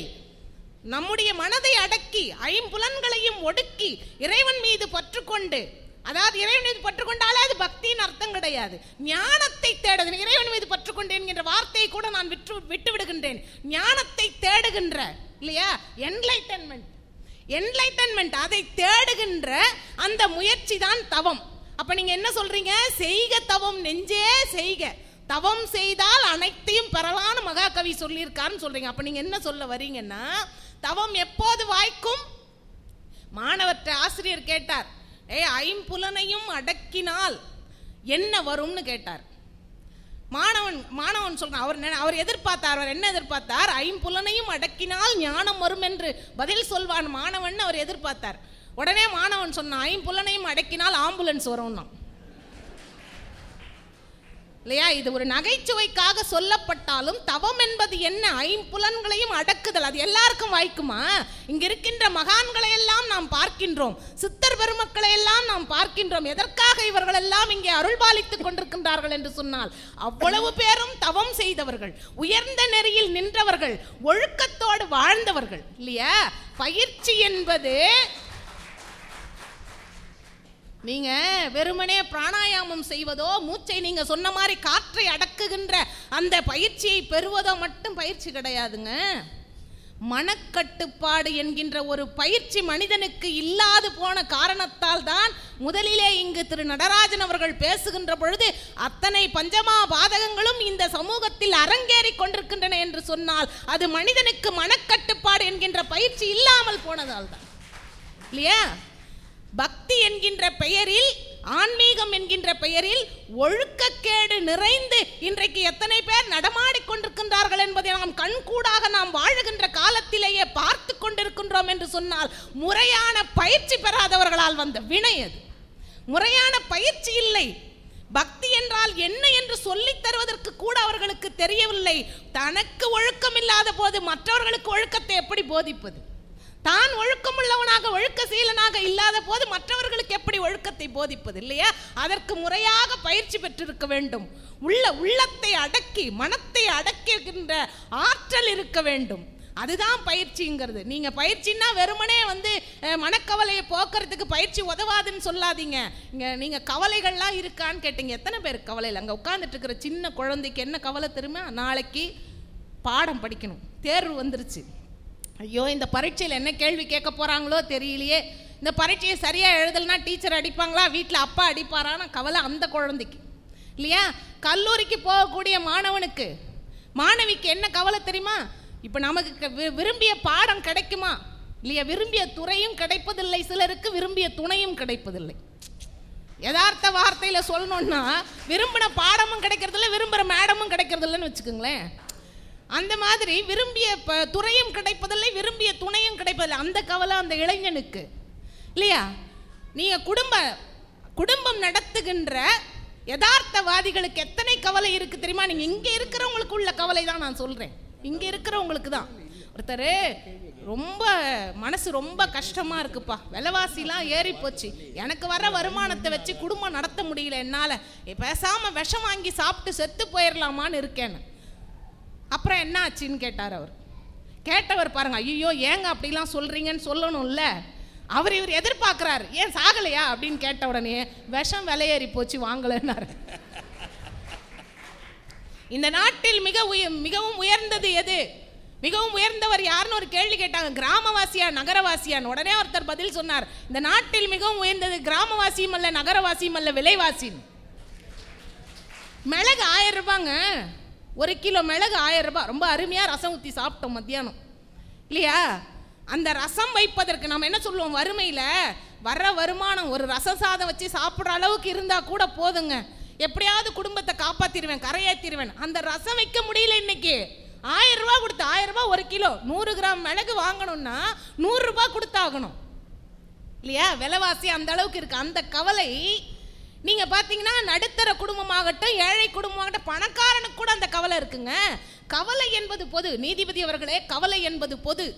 கூழுக்கு உப்பில்லை என்பாருக்கும் பாலுக்கு சர்க்கரை இல்லை என்பாருக்கும் கவலை பொதுதான். இல்லையா? வறுமையில இருக்கின்ற பொழுது ஆறு வயதிலும் பதினாறு வயதிலும் சாப்பிட முடியவில்லையே என்ற ஏக்கம் சாப்பிடுவதற்கு கிடைக்கவில்லையே என்கின்ற ஏக்கம். நல்ல சம்பாதிக்க ஆரம்பித்த பிறகு முப்பத்தி ஆறிலும் நாற்பத்தி ஆறிலும் சர்க்கரை நோய் ரத்த கொதிப்பு வந்து சா கிடைக்க பொருள் இருக்குது ஆனால் சாப்பிட முடியலையேங்கிற ஏக்கம் கவலை. இல்லையா? சாப்பிடுகின்ற வயதில் கிடைக்கவில்லை என்கின்ற கவலை கிடைக்கின்ற வயதில் சாப்பிட முடியவில்லை என்று எத்தனை கவலை இருக்குன்னு நினைச்சிட்டு இருக்கீங்க? அருமையா பெத்து வளர்த்து ஐயிரண்டு திங்களாய் அங்கமலாம் நொந்து பெற்று பையல் என்ற போதே பரிந்தெடுத்து செய்ய கைப்புறத்தில் ஏந்தி கனகமுலை தந்து பாலூட்டி முதியோர் இல்லத்தில் விட்டுவிட்டு இங்கிருந்து உணவு கொண்டு போய் அங்கே கொடுக்கின்ற சூழ்நிலையில் அந்த மகன் அந்த பிள்ளைகளும் பெண்களும் விட்டுவிட்டு இருக்கின்ற அந்த சூழலில் இல்லையா? மார் மீதும் தோள் மீதும் வைத்து காப்பாற்றி வட்டிலும் தொட்டிலும் வைத்து தாளாட்டி சீராட்டி வளர்த்த தந்தையை தன் தோளுக்கு மேலே உட்கார்ந்து இந்த உலகத்தை பார்க்க வேண்டும் மகன் என்று தன்னை விட உயரமாக அமர்ந்து பார்க்க வேண்டும் என்று தன் தோளில் சுமந்த தந்தையை கொண்டு போய் முதியோர் இல்லத்தில் விட்டுவிடுகின்ற அந்த பிள்ளைகளை பார்த்து ஐயோ இவன் நல்லா இருக்கட்டும் நினைக்கிற அப்பா அம்மா தான் இருக்காங்க இன்னைக்கும். அவர்களுக்கு சாபம் கொடுப்பதோ அவர்களை வ- வசை பாடுவதோ இல்லாமல் அவங்க எங்கே இருந்தாலும் அவங்களாவது நல்லா இருக்கட்டும் நினைக்கக்கூடிய கவலை இல்லையா? எத்தனை முதியவர்கள் இருக்காங்க? இப்போ வந்து பாருங்கள் இந்த கவலை வந்து இன்னும் நிறைய இருக்கு. இன்னும் நிறைய பட்டியல் இருக்கு. அதாவது ஆணழகன் கிடைக்காவிட்டாலும் பரவாயில்லை. ஒரு அன்பானவன் கிடைத்தால் போதும் என்று நினைக்கின்ற பெண்ணுக்கு அன்றாடம் டாஸ்மாக் கடைக்கு போய் வருகின்ற கணவன் வாய்த்து விட்டால் அந்த பெண்ணின் வாழ்க்கை எப்படி இருக்கும்னு யோசிச்சு பாருங்க. அவளுக்கு எவ்வளவு கவலை இருக்கும். வெறும் பக்தியினால் இதையெல்லாம் போக்கிவிட முடியுமா? அந்த பெண்ணுக்கு அவளுக்கு என்ன கல்வி இருக்கோ அவளுக்கு என்ன திறமை இருக்கோ ஆற்றல் இருக்கோ அதை வைத்துக்கொண்டு அவள் அந்த குடும்பத்தை காப்பாற்றக்கூடிய அந்த நிலையை அவள் கை கொள்ள வேண்டும் அதுக்கு பயிற்சி வேணும். இல்லையா? அதாவது நீங்கள் யோசிச்சு பாருங்கள் எந்த வேலை செய்கிறவங்கனாலும் ஒரு சித்தாள் வேலைக்கு போகின்ற பெண்களாக இருந்தாலும் கூட ரொம்ப அழகா வள்ளுவன் சொல்லுவான் அனிச்சமும் அன்னத்தின் தூவியும் மாதர் அடிக்கு நெருஞ்சி பழம்னு சொல்வார். அனிச்ச பூ வந்து முகந்து பார்க்கின்ற பொழுதே வாடிவிடக்கூடியது இல்லையா? நோக்க குழையும் விருந்து மோப்ப குழையும் அனிச்சம் முகந்திரிந்து நோக்க குழையும் விருந்து. அப்ப அனிச்சப்பூ எப்படி முகந்து பார்க்கும்போதே வாடிடுதே? அது போல விருந்தாளி வந்த உடனே ஐயோ வந்துட்டானா? வாங்க வாங்கன்னு வாய் தான் வார்த்தை சொல்லும். ஐயோ வந்துட்டானான்னு மனசு சொன்னா அந்த மனம் சொல்லுகின்ற அகத்தின் அழகு முகத்துல தெரிஞ்சிடுது இல்லையா? அப்ப உடனே வந்து நோக்க குழைந்து போகின்றது விருந்து. இப்படிப்பட்ட இது நான் அனிச்ச பூக்காக சொல்ல வந்த விளக்கம் அது அப்படியே போயிருது பாருங்க. அதான் தமிழில் தமிழ் படி படிக்கின்ற போது ஏற்படுகின்ற இடர்பாடு.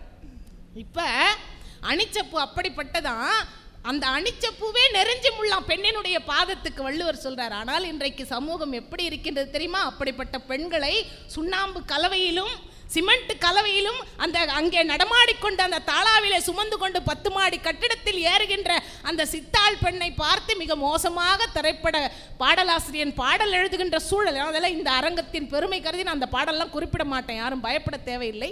ஏன்னா அப்படிப்பட்ட சூழலில் நாம் வாழ்ந்து கொண்டிருக்கின்றோம். இல்லையா?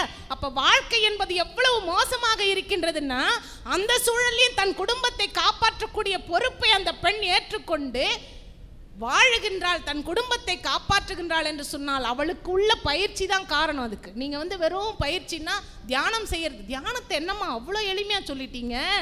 நீங்கள் யோசிச்சு பாருங்கள் தியானம் போகும்போதே என்ன தெரியுமா சொல்லுவாங்க?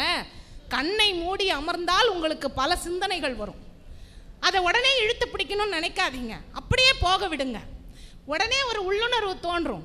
ஐயோ நான் மனதை ஒருமுகப்படுத்த தானே உட்கார்ந்து இருக்கின்றோம் அதுக்குள்ளே நம்ம சிந்தனை வீட்டு பக்கம் போயிருச்சே அலுவலகத்துக்கு பக்கம் போயிருச்சேன்னு நமக்குள்ளேயே ஒரு எண்ணம் வரும். அப்போ நீங்கள் மறுபடியும் தொடருங்க. தியானம் செய்யும் போது இதுதான் சொல்லுவாங்க.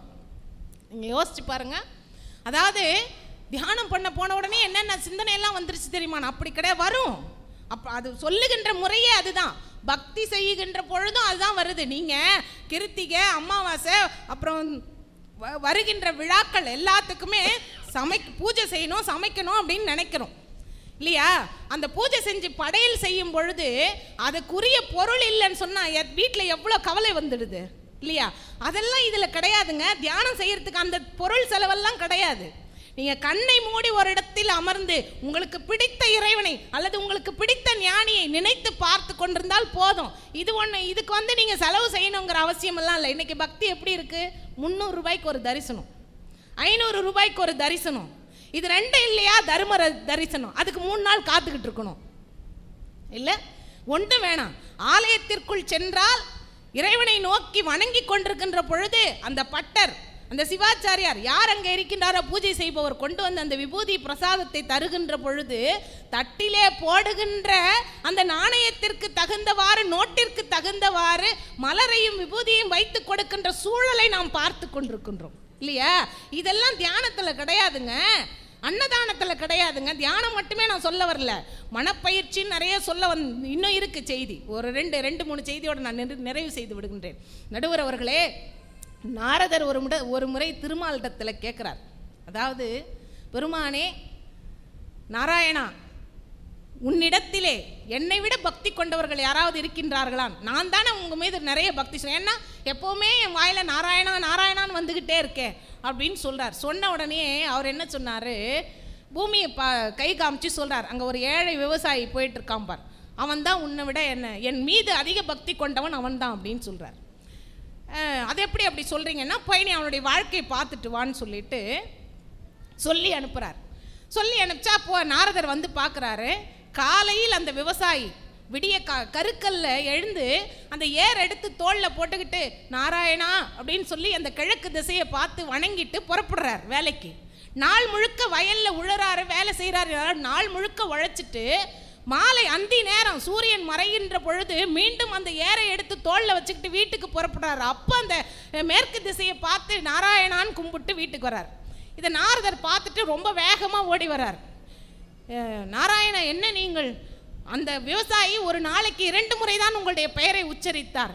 நீங்கள் என்ன நாள் முழுக்க நான் உங்கள் பெயரையே சொல்லிக்கிட்டு இருக்கேன். என்னை விட அவர் தான் சிறந்த பக்தன் சொல்கிறீங்களே எப்படி சொல்கிறீங்க அப்படின்னு கேட்டார். உடனே நாராயணர் என்ன செஞ்சார் தெரியுங்களா? ஒரு கிண்ணத்தில் எண்ணெயை கொடுத்து நாரதர்கிட்ட சரி நான் உனக்கு விளக்கம் அப்புறம் சொல்கிறேன் இந்த கிண்ணத்தில் இருக்கிற எண்ணெயை கையில் வச்சுக்கிட்டு நீ இந்த ஒரு முறை சுற்றிக்கிட்டு வா அப்படின்னு சொல்லிட்டு சொல்லி அனுப்புகிறார் எங்கள் பூமியை வானுலகத்தையான்றதெல்லாம் அப்புறம் விட்டுருவோம். ஒரு முறை சுற்றிக்கிட்டு காலையிலேருந்து சாயந்தரம் வந்து சேர் காலையில் புறப்படணும்.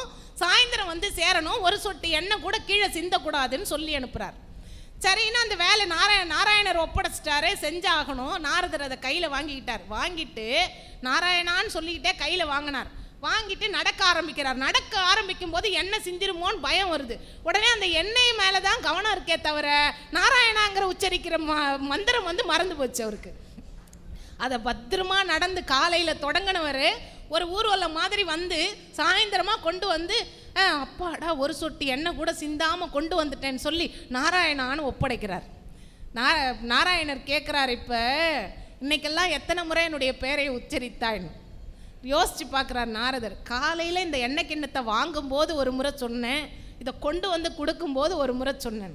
இப்போ புரியுதா? நீ உன பிரம்மச்சாரி எப்பொழுதுமே இந்த தேவர்களை சுற்றிக்கிட்டு இருக்கிறவன் உனக்கே வந்து ஒரு பொறுப்பை கொடுத்த உடனேயே ரெண்டு முறை தான் நாராயணன் பேரை உச்சரிக்க முடிஞ்சதே. அவன் குடும்பஸ்தன். இல்லையா? கிரக அவன் குடும்பஸ்தன். அவன் தாய் தந்தையை காப்பாற்றணும் தன் மனைவியை காப்பாற்றணும் பிள்ளைங்களை காப்பாற்றணும் அவன் நாள் முழுக்க உழைச்சாதான் அவன் குடும்பத்துக்கு சாப்பாடு. அப்படி இருக்கும்போது அவன் என் பேரையே சொல்லிக்கிட்டு இருந்தான்னா அவன் எப்படி கா அவன் குடும்பத்தை காப்பாற்ற முடியும்னு கேட்டார். இந்த மாதிரி பக்தி அம்மா ரொம்ப அருமையாக உங்களுடைய விவாதம் சென்று கொண்டிருக்கிறது. இப்போ நடுவர் ஆயத்திற்கு நீங்கள் ஒரு உதவி செய்ய வேண்டும். இப்போ ரெண்டு அணிலையும் எல்லாரும் பேசுனதை கேட்டதுக்கப்புறம் நடுவர் ஆயம் உள்ளிட்ட அவையோருக்கு ஒரு சின்ன மனதில் கேள்வி எழுந்திருக்க வாய்ப்பு இருக்குது. என்னென்னா என்ன தீர்ப்பு சொல்ல போகிறார்கள்? ஏன்னா ரெண்டு பேரும் ரொம்ப பேலன்ஸ்டாக ஈக்குவலாக இருக்கிற மாதிரி இருக்கு ஆர்குமெண்ட்ஸ் எல்லாம். இப்போ நீங்கள் ஒரு உதவி பண்ணுங்கள் நம்ம மனக்கவலை எல்லாம் தீர்றதுக்கு பயிற்சி எத்தனை சதவிகிதம் வேணும்? பக்தி எத்தனை சதவிகிதம் வேணும்? அப்படின்னு நீங்கள் நினைக்கிறீங்க. இதை மாத்திரம் சொல்லிட்டு நீங்கள் இடம் சார். நீதிபதி இது ஒரு சின்ன உதவியாக இருக்கும். ம் சரி சரி. அதாவது சதவீதம் என்று கணக்கிலே எடுத்துக்கொண்டால் இது இவ்வளவுதான் என்று சொல்லுகின்ற அளவிற்கு ஞானம் இன்னும் எனக்கு வாய்க்கப் பெறவில்லை சொல்ல முயற்சி பண்ணுங்க முயற்சி பண்ணுங்க. உங்களுக்கு உங்களுக்கு இருக்கிற ஞானத்தை தமிழ் கூறு நல்லுலகம் நன்கு அறியும். நீங்க நீங்க சொல்லலாம் சொல்லுங்கள். நீதிபதி அவர்களே இன்றைக்கு ஹார்ட் அட்டாக் வந்து வாழ்க்கை முடிந்து போவதே ரொம்ப ரொம்ப வருஷம் அதாவது திருமூல நாயனார் சொல்லி வச்சிருக்கார். அடப்பண்ணி இல்ல, வைத்தார். இல்ல, அது அதன் மூலமாக நான் சொல்ல வருகின்றேன். அடப்பண்ணி வைத்தார் அடிசிலை உண்டார். மடக்கொடியாரோடு மந்தனம் கொண்டார். இடப்பக்கமே இறை நொந்ததென்றார் கிடக்கப்படுத்தார். கிடந்தொழிந்தாரே. இவ்வளவுதான் வாழ்க்கை. சரி. இல்லையா?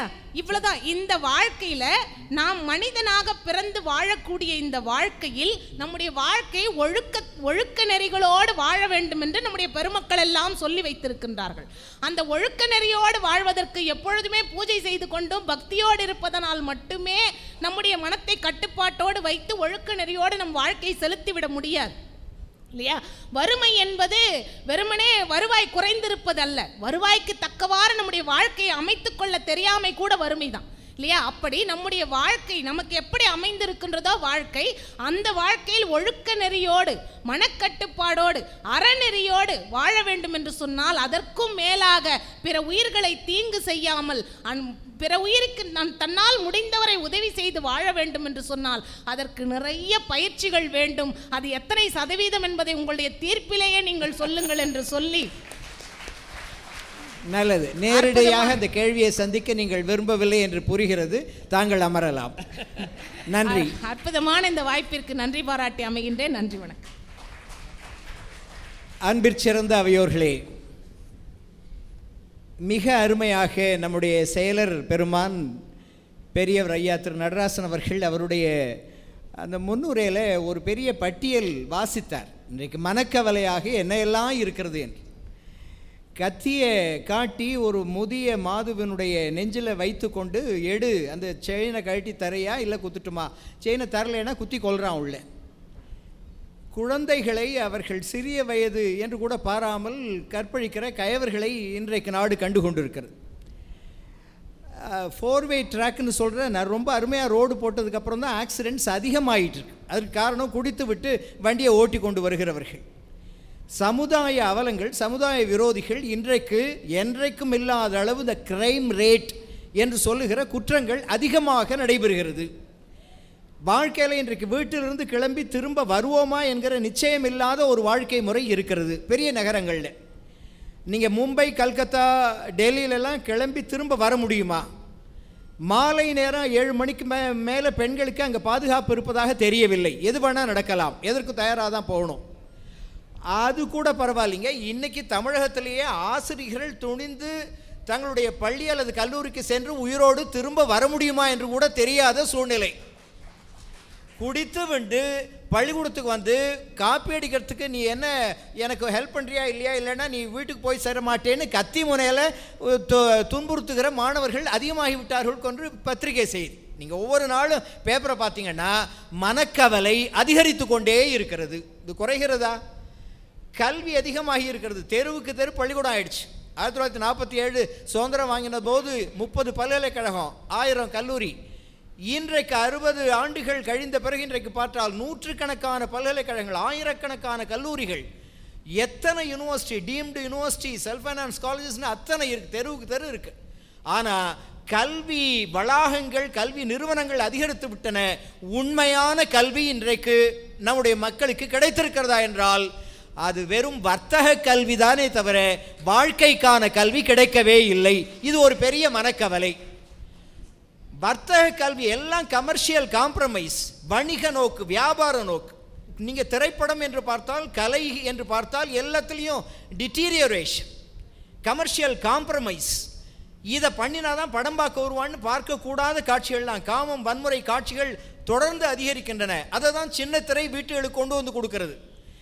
நீங்கள் சைபர் கிரைம்ஸ் என்று கண்டுபிடிக்க முடியாத அந்த இணையதளம் மூலமாக கம்ப்யூட்டர் மூலமாக அந்த வெப்சைட் மூலமாக வருகிற அந்த குற்றங்களினுடைய எண்ணிக்கை அதிகரித்து கொண்டே வருகிறது.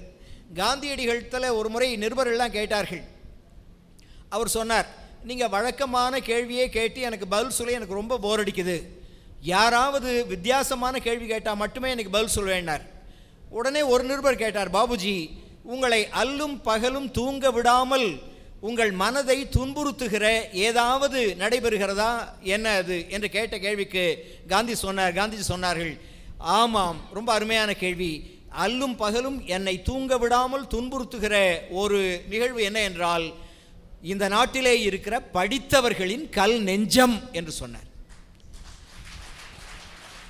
நீங்க கிரைம் ரேட் என்று பார்த்தால் கல்லாத பேர்களே நல்லவர்கள் நல்லவர்கள் என்று சொல்லுகிற அளவில் தவறு குற்றம் இழைத்தவர்களோட பட்டியலில் நிறைய பேர் தப்பு பண்ணவன் அத்தனை பேரும் நிறைய தப்பு பண்ணவன் அத்தனை பேரும் நிறைய படித்தவன் தான். அப்போ படிப்பு நமக்கு எதை சொல்லிக் கொடுத்துருக்கிறது? அந்த பண்பாடு எங்கே போனது? ஆயிரத்தி தொள்ளாயிரத்தி எண்பத்தாறில் டெல்லியில் ஒரு விமானம் வந்து நின்றது. அதில் இறங்கி நடந்தார் ஒரு அகில உலக பிரமுகர் போப் இரண்டாம் ஜான் பால். அவர் ரெண்டடி நடந்த உடனே செஞ்ச காரியத்தை உலகம் முழுக்க தொலைக்காட்சியில் பார்த்து திகைத்து நின்றது. அவர் செஞ்ச செயல் வேற ஒன்றும் இல்லை. இந்தியர்களாகிய நம்மில் பல பேர் செய்யாத ஒரு காரியத்தை அவர் பண்ணார். என்ன பண்ணார்னா நெடுஞ்சான் கிடையாக விழுந்து இந்திய மண்ணுக்கு முகம் தரையில் படுமாறு வணக்கம் செலுத்தினார். தாய் மண்ணே வணக்கம்னு பாட்டு பாடுறான் நம்ம பையன். டாப் சிங்கரில். பாடுறதோடு சரி இந்தியர் யாரும் முகம் தரையில் படுமாறு சாஷ்டாங்கம் விழுந்து விழுந்திய மண்ணுக்கு வணக்கம் செலுத்துறதில்லை. யார் தெரியுங்களா அவர்? புனித போப்பாண்டவர் இப்பொழுது இருக்கிறவருக்கு முந்தியவர். இருபது ஆண்டுகள் அவர் பதவியில் இருந்தபோது நூற்றி பதினேழு ஆ- நாடுகளுக்கு சென்று மதத்தை விட மனிதம்தான் உயர்ந்தது என்று அவர் சொல்லி காட்டியவர்.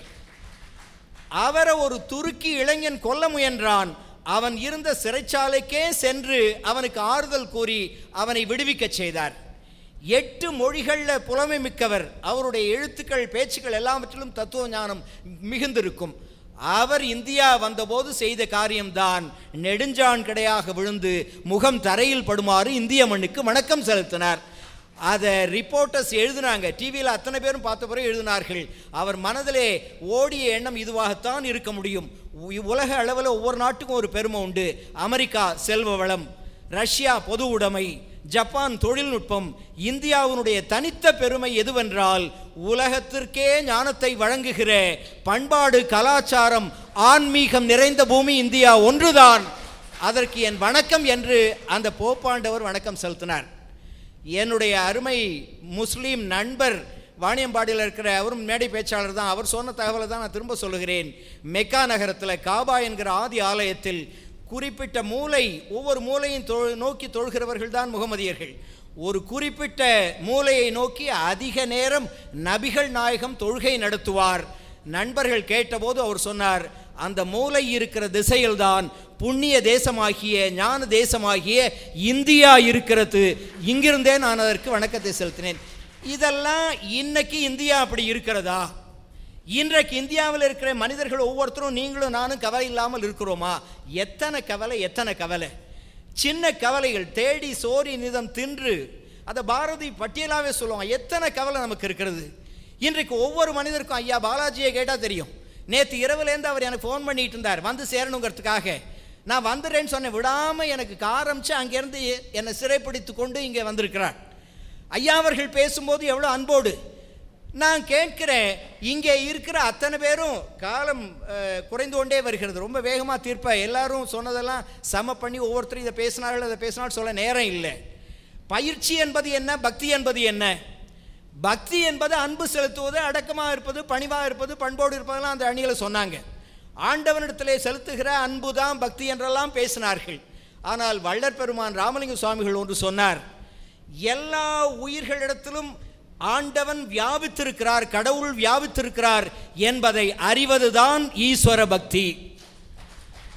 அதை தான் எல்லா உயிரும் இறைவன் இருக்கிறான். எனக்குள்ளும் இருக்கிறான் உங்கள் ஒவ்வொருவரிடத்திலும் இருக்கிறான். அதை ரொம்ப அருமையாக நான்கு கோட்பாடுகளாக தத்துவங்களாக வள்ளலார் சொன்னார். இந்திரிய ஒழுக்கம் என்று உடல் தூய்மையை பேசினார். கரண ஒழுக்கம் என்று மன தூய்மையை பற்றி பேசினார். ஜீவ ஒழுக்கம் என்று உலகத்தில் இருக்கிற அத்தனை மனிதர்களையும் உங்களுடைய வடிவமாக நீங்களாகவே நீங்கள் கருத வேண்டும். அவர்களுக்கு வருகிற துன்பத்தை நீங்கள் துடைக்க வேண்டும். என்ன துன்பம் என்ன கவலை யாருக்கு இருந்தாலும் அவர்களுடைய துன்பத்தை கவலையை போக்குவதற்கு நீங்கள் என்ன செய்தீர்கள் என்று எண்ணி பார்த்து செயலாற்ற வேண்டும். இது ஜீவ ஒழுக்கம்.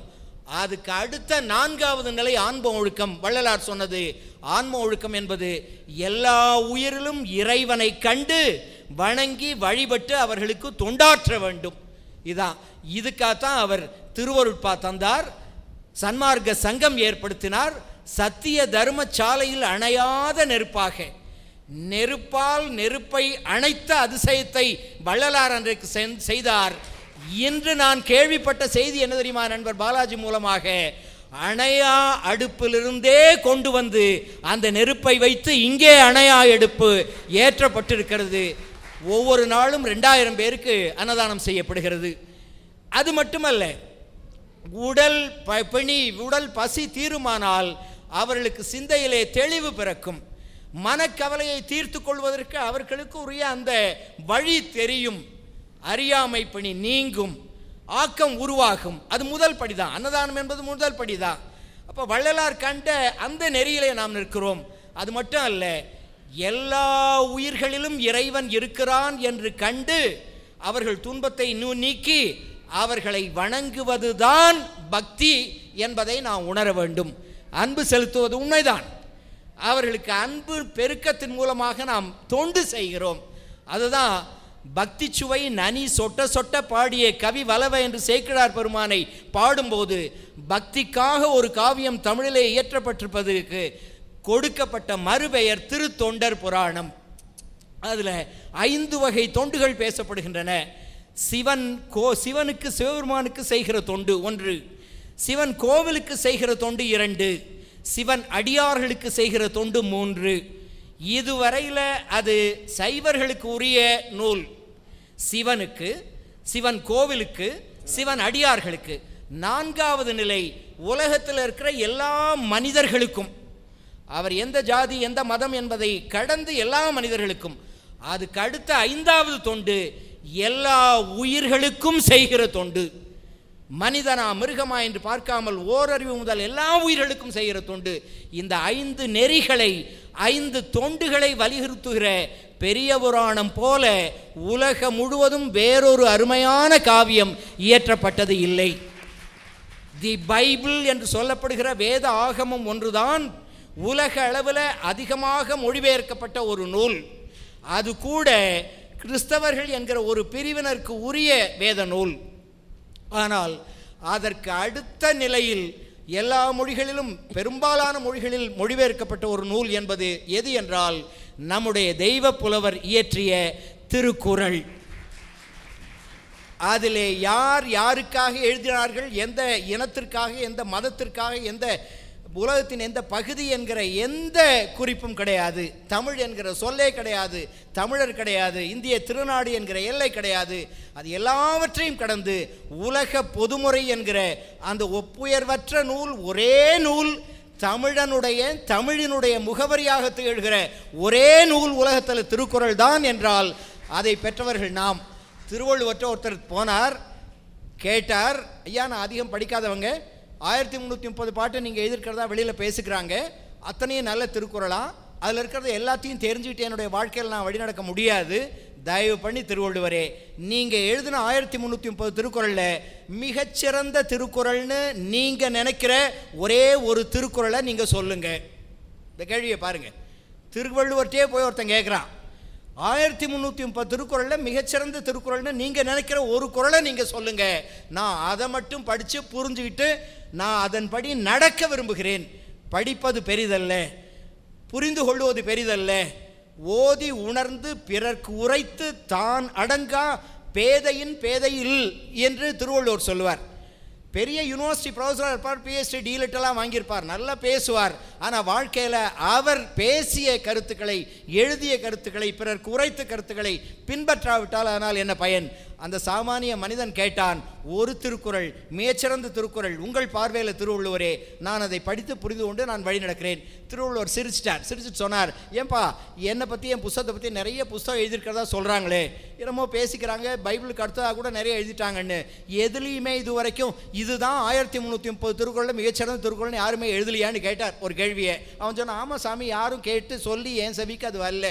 நான் கேள்விப்படலை. நீங்கள் சொல்லுங்கள் உங்கள் திருக்குறள் எது மிகச்சிறந்தது? அவர் சொன்னார் எதையுமே சுலபமாக சொல்லிட்டா கேட்குறவங்களுக்கு அதனுடைய பெருமை அருமையெல்லாம் தெரியாது. நான் உனக்கு ரெண்டு குறிப்பு தரேன். நீ போய் தேடு. தேடிட்டு பதில் தெரியலன்னா என்கிட்டவா நான் பதில் சொல்கிறேன்னார் அவன் போனால் செவுத்துல அடித்த பந்து மாதிரி திரும்பி வந்து நீங்கள் சொன்ன குறிப்பை வச்சு என்னால் கண்டுபிடிக்க முடியல. அவர் சொன்ன குறிப்பு இதுதான். ஆயிரத்தி முந்நூற்றி முப்பது திருக்குறளில் ஆயிரத்தி முந்நூற்றி இருபத்தி ஒன்பதையும் நான் தான் எழுதியிருக்கேன் என்னுடைய சொந்த கருத்து. ஆனால் அந்த ஒரே ஒரு திருக்குறள் ஆயிரத்தி முந்நூற்றி முப்பதில் the best number one topping the லிஸ்ட்டுன்னு சொல்கிற நான் நினைக்கிற குறள் இருக்கே. அந்த குறளை நான் என்னுடைய சொந்த கருத்தை வச்சு எழுதவே இல்லை. ஏன்னா நம்மெல்லாம் மேற்கோள்னு அவர் சொன்னார் இவர் சொன்னார்னு காட்டுவோம். திருக்குறளில் ஆயிரத்தி முந்நூற்றி இருபத்தொம்போது திருக்குறளில் மேற்கோளாக திருவள்ளுவர் வேற யாரையும் காட்டலை. ஆனால் அந்த ஒரு திருக்குறளை திருவள்ளுவர் சொல்கிறார் அது ஏன் கருத்தே அல்ல? உலகத்தில் இதுவரைக்கும் யாரெல்லாம் புஸ்தகம் எழுதியிருக்கானோ நல்ல புஸ்தகம் உயர்ந்த இலக்கியம். இனிமேலும் யாரெல்லாம் உயர்ந்த இலக்கியம் எழுத போகிறானோ அத்தனை பேரையும் அந்த ஒன்றரை அடியில் ஒரு திருக்குறளை நான் மேற்கோளாக காட்டிட்டேன். நீ போய் கண்டுபிடினார் அவன் கண்டுபிடிக்க முடியல. அவன் கேட்டவுடனே அவர் சொன்னார் நீ எல்லாம் அடிக்கடி மேடையில் கேட்குற திருக்குறள் தான்ப்பா அது சாதாரண திருக்குறள். நீ கேட்டால் எனக்கு தெரியுமேன்னு கூட சொல்லுவேன். இப்போ நான் உனக்கு சொல்கிறேன்னு சொல்லிட்டு அவர் சொன்னார். பகுத்துண்டு பல்லுயிர் ஓம்புதல் நூலோர் தொகுத்தவற்றுள் எல்லாம் தலை அப்படின்னு சொன்னார். சொன்னோன்னு அவன் கேட்டான் பகுத்துண்டுங்கிறத அன்னதானம் பண்ணுறது தானே சாமி? நாங்கள் எங்கள் வீட்டில் அடிக்கடி பண்ணுறோம் கோவிலில் திருவிழானா பண்ணுறோம் ஒரு பெரிய சங்கத்தில் அதை பண்ணிக்கிட்டு இருக்கோம். என்ன எல்லாரும் சேர்ந்து உட்காந்து சாப்பிட்றது எல்லாருக்கும் சாப்பாடு போடுறது பெரிய விஷயமான்னு கேட்டான். திருவள்ளுவர் அப்போ தான் சொன்னார் அந்த அன்னதானம் என்பது உணவு தருவது என்பது முதல் நிலை. அது கட்ட சொன்னார் பகுத்துண்டு பல்லுயிர் ஓம்புதல்னா என்ன தெரியுமா அர்த்தம்? அவர் சொன்னார் பாருங்க அதுதான் நாம் அனைவரும் மனதிலே தாங்கி செல்ல வேண்டிய ஒரு மு- முழுமையான முதன்மையான திருக்குறள் அதுதான்.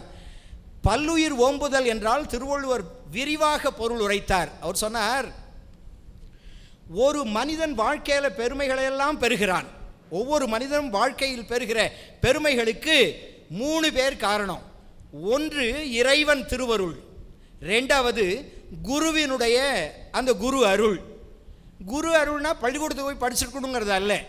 யாரையெல்லாம் அவன் குருவாக ஏற்றுக்கொள்கிறானோ ஒரு ஞானிகிட்ட சீடர்கள்லாம் அவங்க குரு யாருன்னு கேட்டப்ப வாங்க காட்டுறேன்னு ஆத்தங்கரைக்கு கூட்டிகிட்டு போய் ஒரு கழுதையை காமிச்சார்.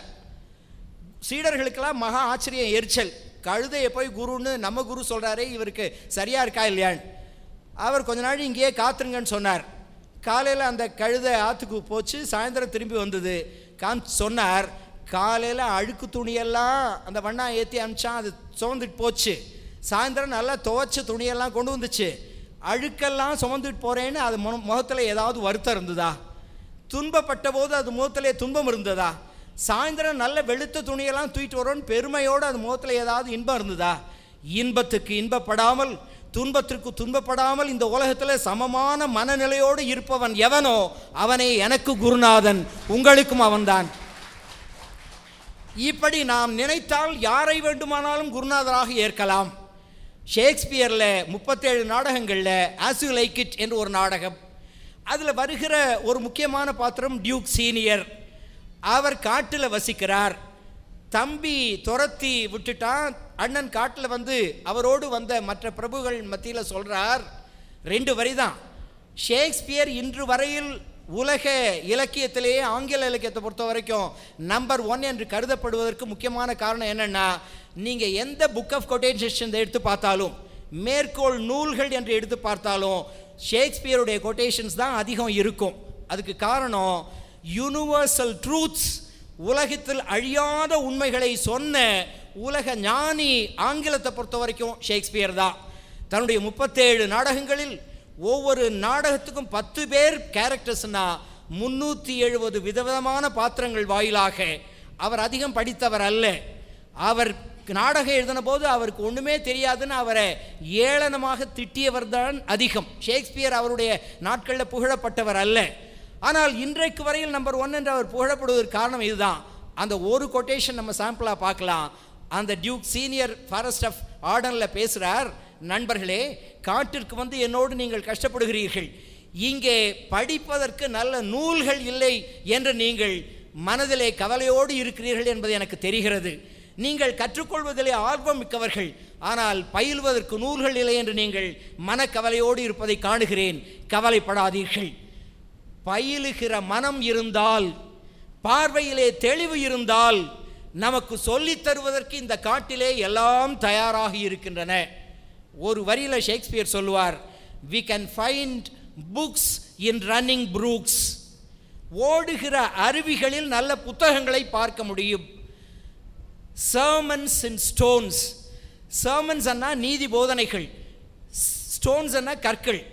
அங்கே அசையாமல் கிடக்கிற கற்களில் நீதி போதனையை பார்க்கலாம்.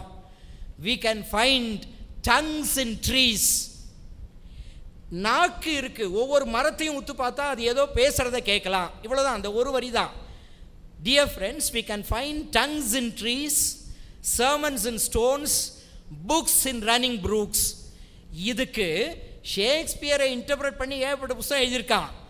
நாமும் இன்றைக்கு தமிழ்நாட்டிலே உட்கார்ந்து கொண்டு ஒரு தமிழன் அதை இன்டர்பிரட் பண்ணினால் அதை தனக்கு உரிய பார்வையில் அர்த்தப்படுத்தினால் எப்படி வரும் என்றால் ஒரு மரம் என்ன சொல்லுகிறது தன்னுடைய நாக்கை நீட்டி என்றால் மனிதர்களே மரம்தானே என்று என்னை இகழ்வாக நினைக்காதீர்கள். என்னை நீங்கள் வெட்ட வெட்ட உங்களுக்கு மழை கிடைக்காது. சுற்றுப்புற சூழல் பாதிக்கப்படும். மரங்களினுடைய மகிமையை உணர்ந்து கொள்ளுங்கள் என்று அந்த மரம் பேசுவதாக நாம் உணர வேண்டும். ஓடுகிற ஆறு பேசுகிற வாசகம் என்ன தெரியுமா? புக்ஸ் இன் ரன்னிங் ப்ரூக்ஸ் ஒரு மாநிலத்துக்கு சொந்தமானது தான் இந்த காவேரி என்று கர்நாடகத்தில் இருக்கிறவர்களை நினைக்காதீர்கள். ஓடுகிற ஆறு எல்லோருக்கும் சொந்தமானது. ஓடுகிற ஆற்றிலே வருகிற நதி நீரை யாரும் அணை கட்டி தடுக்காதீர்கள் என்று அது மனிதர்களை பார்த்து சொல்லுகிறது. சர்மன்ஸ் இன் ஸ்டோன்ஸ் கல்லிலே எழுதப்பட்டிருக்கிற வாசகம் என்ன தெரியுமா? மனிதர்களே உங்களுக்கு நான் கல்லாக்கிய நான் ரெண்டு பாடங்களை தருகிறேன். வாழ்க்கையில் ஒரு சமயத்தில் நீங்கள் என்னை போல இருக்கணும் இன்னொரு சமயத்தில் என்னை போல இருக்கக்கூடாது. அந்த ரெண்டு சமயம் என்ன தெரியுமா? மனிதர்கள் கஷ்டப்பட்டு கண்ணீர் விட்டு துயரம் என்று உதவி என்று உங்களை கேட்டு வரும்போது என்னை போல கல் மனக்காரர்களாக நீங்கள் இருக்கக்கூடாது. ஆனால் என்னை போல எப்படி இருக்க வேண்டும் தெரியுமா? உங்களுக்கு விதிவசத்தால் ஏதாவது துன்பம் சரி செய்ய முடியாத ஒரு துயரம் வாழ்க்கையில் நடக்கும்போது கலங்கி தெவித்து கண்ணீர் விட்டு தவறான முடிவுகளை எடுத்து விடாமல் மனம் திடத்தோடு கல் போல மனத்தோடு நீங்கள் இருக்க வேண்டும். திடமாக இருக்க வேண்டும். உதவி செய்ய வேண்டும். இப்போ இதில் என்னென்னா திருவருளால் குருவருளால் சொந்த முயற்சியால் ஒவ்வொரு மனிதனும் எல்லாவற்றையும் பெறுகிறான். கல்வியை பெறுகிறான் பதவியை பெறுகிறான் பணத்தை பெறுகிறான் எல்லாவற்றையும் சமுதாய அந்தஸ்தை பெறுகிறான் அங்கீகாரத்தை பெறுகிறான். திருவள்ளுவரன் திருக்கொள்ளையை தான் சொல்கிறார் நீங்கள் பகுத்துண்டு பல்லுயிர் ஓம்புதல் என்றால் ஒவ்வொரு மனிதனும் தான் பெற்ற கல்வியால் உலகத்தில் இருக்கிற எல்லாருக்கும் உதவி செய்ய வேண்டும் பல்லுயிர் ஓம்ப வேண்டும். செல்வம் பெற்றிருக்கவன் தான் பெற்றிருக்கிற செல்வத்தால் எல்லாருக்கும் உதவி செய்ய வேண்டும். ரெண்டுமே இல்லை கல்வி இல்லை செல்வம் இல்லை பதவி இருக்கு பதவியினாலும் செய் பதவி இல்லை சாதாரண மனிதர்களா? இனிய முகத்தோடு கருணை முகுந்த ஈர சொற்களோடு மற்ற மனிதர்களை அன்போடு நேசித்து அவர்கள் மனம் கோணாமல் நடந்து கொள்ளுங்கள். இப்படி மற்றவர்களுக்கு செய்யுங்கள். இதுதான் பல்லுயிர் ஓம்புதல். இதை சொல்லிட்டு திருவள்ளுவர் சொல்கிறார் இது நான் சொல்கிறதில்ல நூலோர் நூலோர்னா அந்த ஒரு வார்த்தையில இதுவரையில் உலகத்தில் யாரெல்லாம் நல்ல புஸ்தகம் எழுதியிருக்கானோ இனிமே யாரெல்லாம் எழுத போகிறானோ அத்தனை பேரும் தொகுத்தவற்றுள் இதுதான் உலகத்தினுடைய வேல்யூஸ் ஆஃப் லைஃப் என்று சொல்லியிருந்தால் தொகுத்தவற்றுள் எல்லாம் தலை. இதுதான் மிக மிக உயர்ந்த பண்பாடு நாகரிகம் கலாச்சாரம் இதுதான். மனிதர்கள் தங்களால் முடிந்த அளவு எல்லோருக்கும் உதவி செய்ய வேண்டும். எல்லா விதத்திலும். இவ்வளோதான் சுருக்கம். இதை சொல்லிட்டு திருவள்ளுவர் இதை நீ பின்பற்று என்று சொன்னார். நான் நினைத்து பார்க்கிறேன் திருவள்ளுவர் நேரடியாக இங்கு வந்து சொன்னார் இல்லை என்பதல்ல பிரச்சனை. வள்ளுவரினுடைய அவதாரமாக வள்ளலாரின் அவதாரமாக நம்முடைய அருமை ஆறுமுக அரங்க மகாதேசிக சுவாமிகள் அவர்கள் நம்முன் இப்பொழுது வாழும் குருவாக இருந்து அவர்கள் காட்டிய அந்த வழியை ஒரு ஷேக்ஸ்பியராக ஒரு வள்ளலாக ஒரு வள்ளுவராக இருந்து வழிகாட்டுகிறார். இப்போ பட்டிமன்ற தலைப்புக்கு வருவோம். பக்தி என்பது எல்லா உயிர்களிலும் இருக்கிற இறைவனை உணர்ந்து கொண்டு அவர்கள் மீது அன்பு செலுத்தி தொண்டு செய்து அவர்களுடைய துன்பத்தை நீக்குவதுதான். பயிற்சி என்றால் அதற்கான முயற்சி. அந்த வழியில் நடைபோடுவது அப்போ இந்த அணியில் பேசியவர்கள் சொன்ன கருத்துக்களை எல்லாம் மன்றம் ஒப்புக்கொள்ளுகிறது. நாம் பயிற்சி செய்ய வேண்டும் முயற்சி செய்ய வேண்டும் நம்மை தகுதி உள்ளவர்களாக ஆக்கிக் கொள்ள வேண்டும். ஆனால் நாம் சென்று சேர வேண்டிய அந்த இறுதி நிலை எது என்றால் நம்முடைய தகுதிப்பாடுகளின் வழியாக உலக மனிதர்கள் நம்மோடு வாழ்கிற அத்தனை பேருக்கும் துன்பத்தை துடைத்து அவர்களுடைய மனக்கவலையும் தீர்த்து. நம்முடைய கவலை மட்டும் அல்ல உலகத்தில் இருக்கிற அத்தனை பேர் கவலையையும் இயன்ற வரையில் தீர்த்து எல்லோரும் நலமாக வாழ வேண்டும். மூன்றே மூன்று வாசகங்கள் நாம் குறித்து கொள்ளலாம். இறைவனை வணங்கி வாழ்வோம். இல்லாதார்க்கு வழங்கி வாழ்வோம். எல்லோரோடும் இணங்கி வாழ்வோம். இதுதான் பக்தி என்றால் அந்த பக்தியை அடைய தொண்டு நெறியை பின்பற்ற நம்மை தூண்டுவது பயிற்சி. இது கருவி அது முடிந்த முடிவு. இதனால் மனிதர்கள் அனைவருடைய கவலையும் தீரும் என்றால் பக்தியே நாம் கொய்க்கொள்ள வேண்டிய அந்த உயர்ந்த சாதனம். நன்றி வணக்கம். மிக அருமையான ஒரு பட்டிமண்டபத்தை நம்முடைய ஐயா அவர்களுடைய திருவுளப்பாங்கின் வண்ணம் தலைமையேற்று. என்னுடைய அழைப்பை ஏற்று இங்கே வருகை தந்து மிக அழகான ஒரு தீர்ப்பை வழங்கி நம்மை நெறிப்படுத்திய அருமை சகோதரர் பேராசிரியர் முனிவர் ஜோதி ராமகிருஷ்ணா அவர்களுக்கு நம்முடைய நெஞ்சம் நிறைந்த பாராட்டுதல்களை உங்கள் கையொலியோடு நான் தெரிவித்துக் கொள்கிறேன். அதே போல் கடந்த ஐந்து பட்டிமண்டபங்களில் இல்லாத அளவிற்கு கலகலப்பாகவும் மகிழ்ச்சியாகவும் மிகச் சிறப்பாகவும் பேச்சாளர்கள் பேசி இந்த மேடையை கலக்கி இருக்கிறார்கள் என்றே சொல்ல வேண்டும். அந்த அளவிற்கு ரொம்ப அழகாக பேராசிரியர் சின்னப்பா பேச்சை கேட்டு நானே வியந்து போனேன்.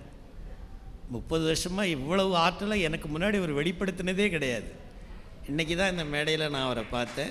எவ்வளவு படிப்பு.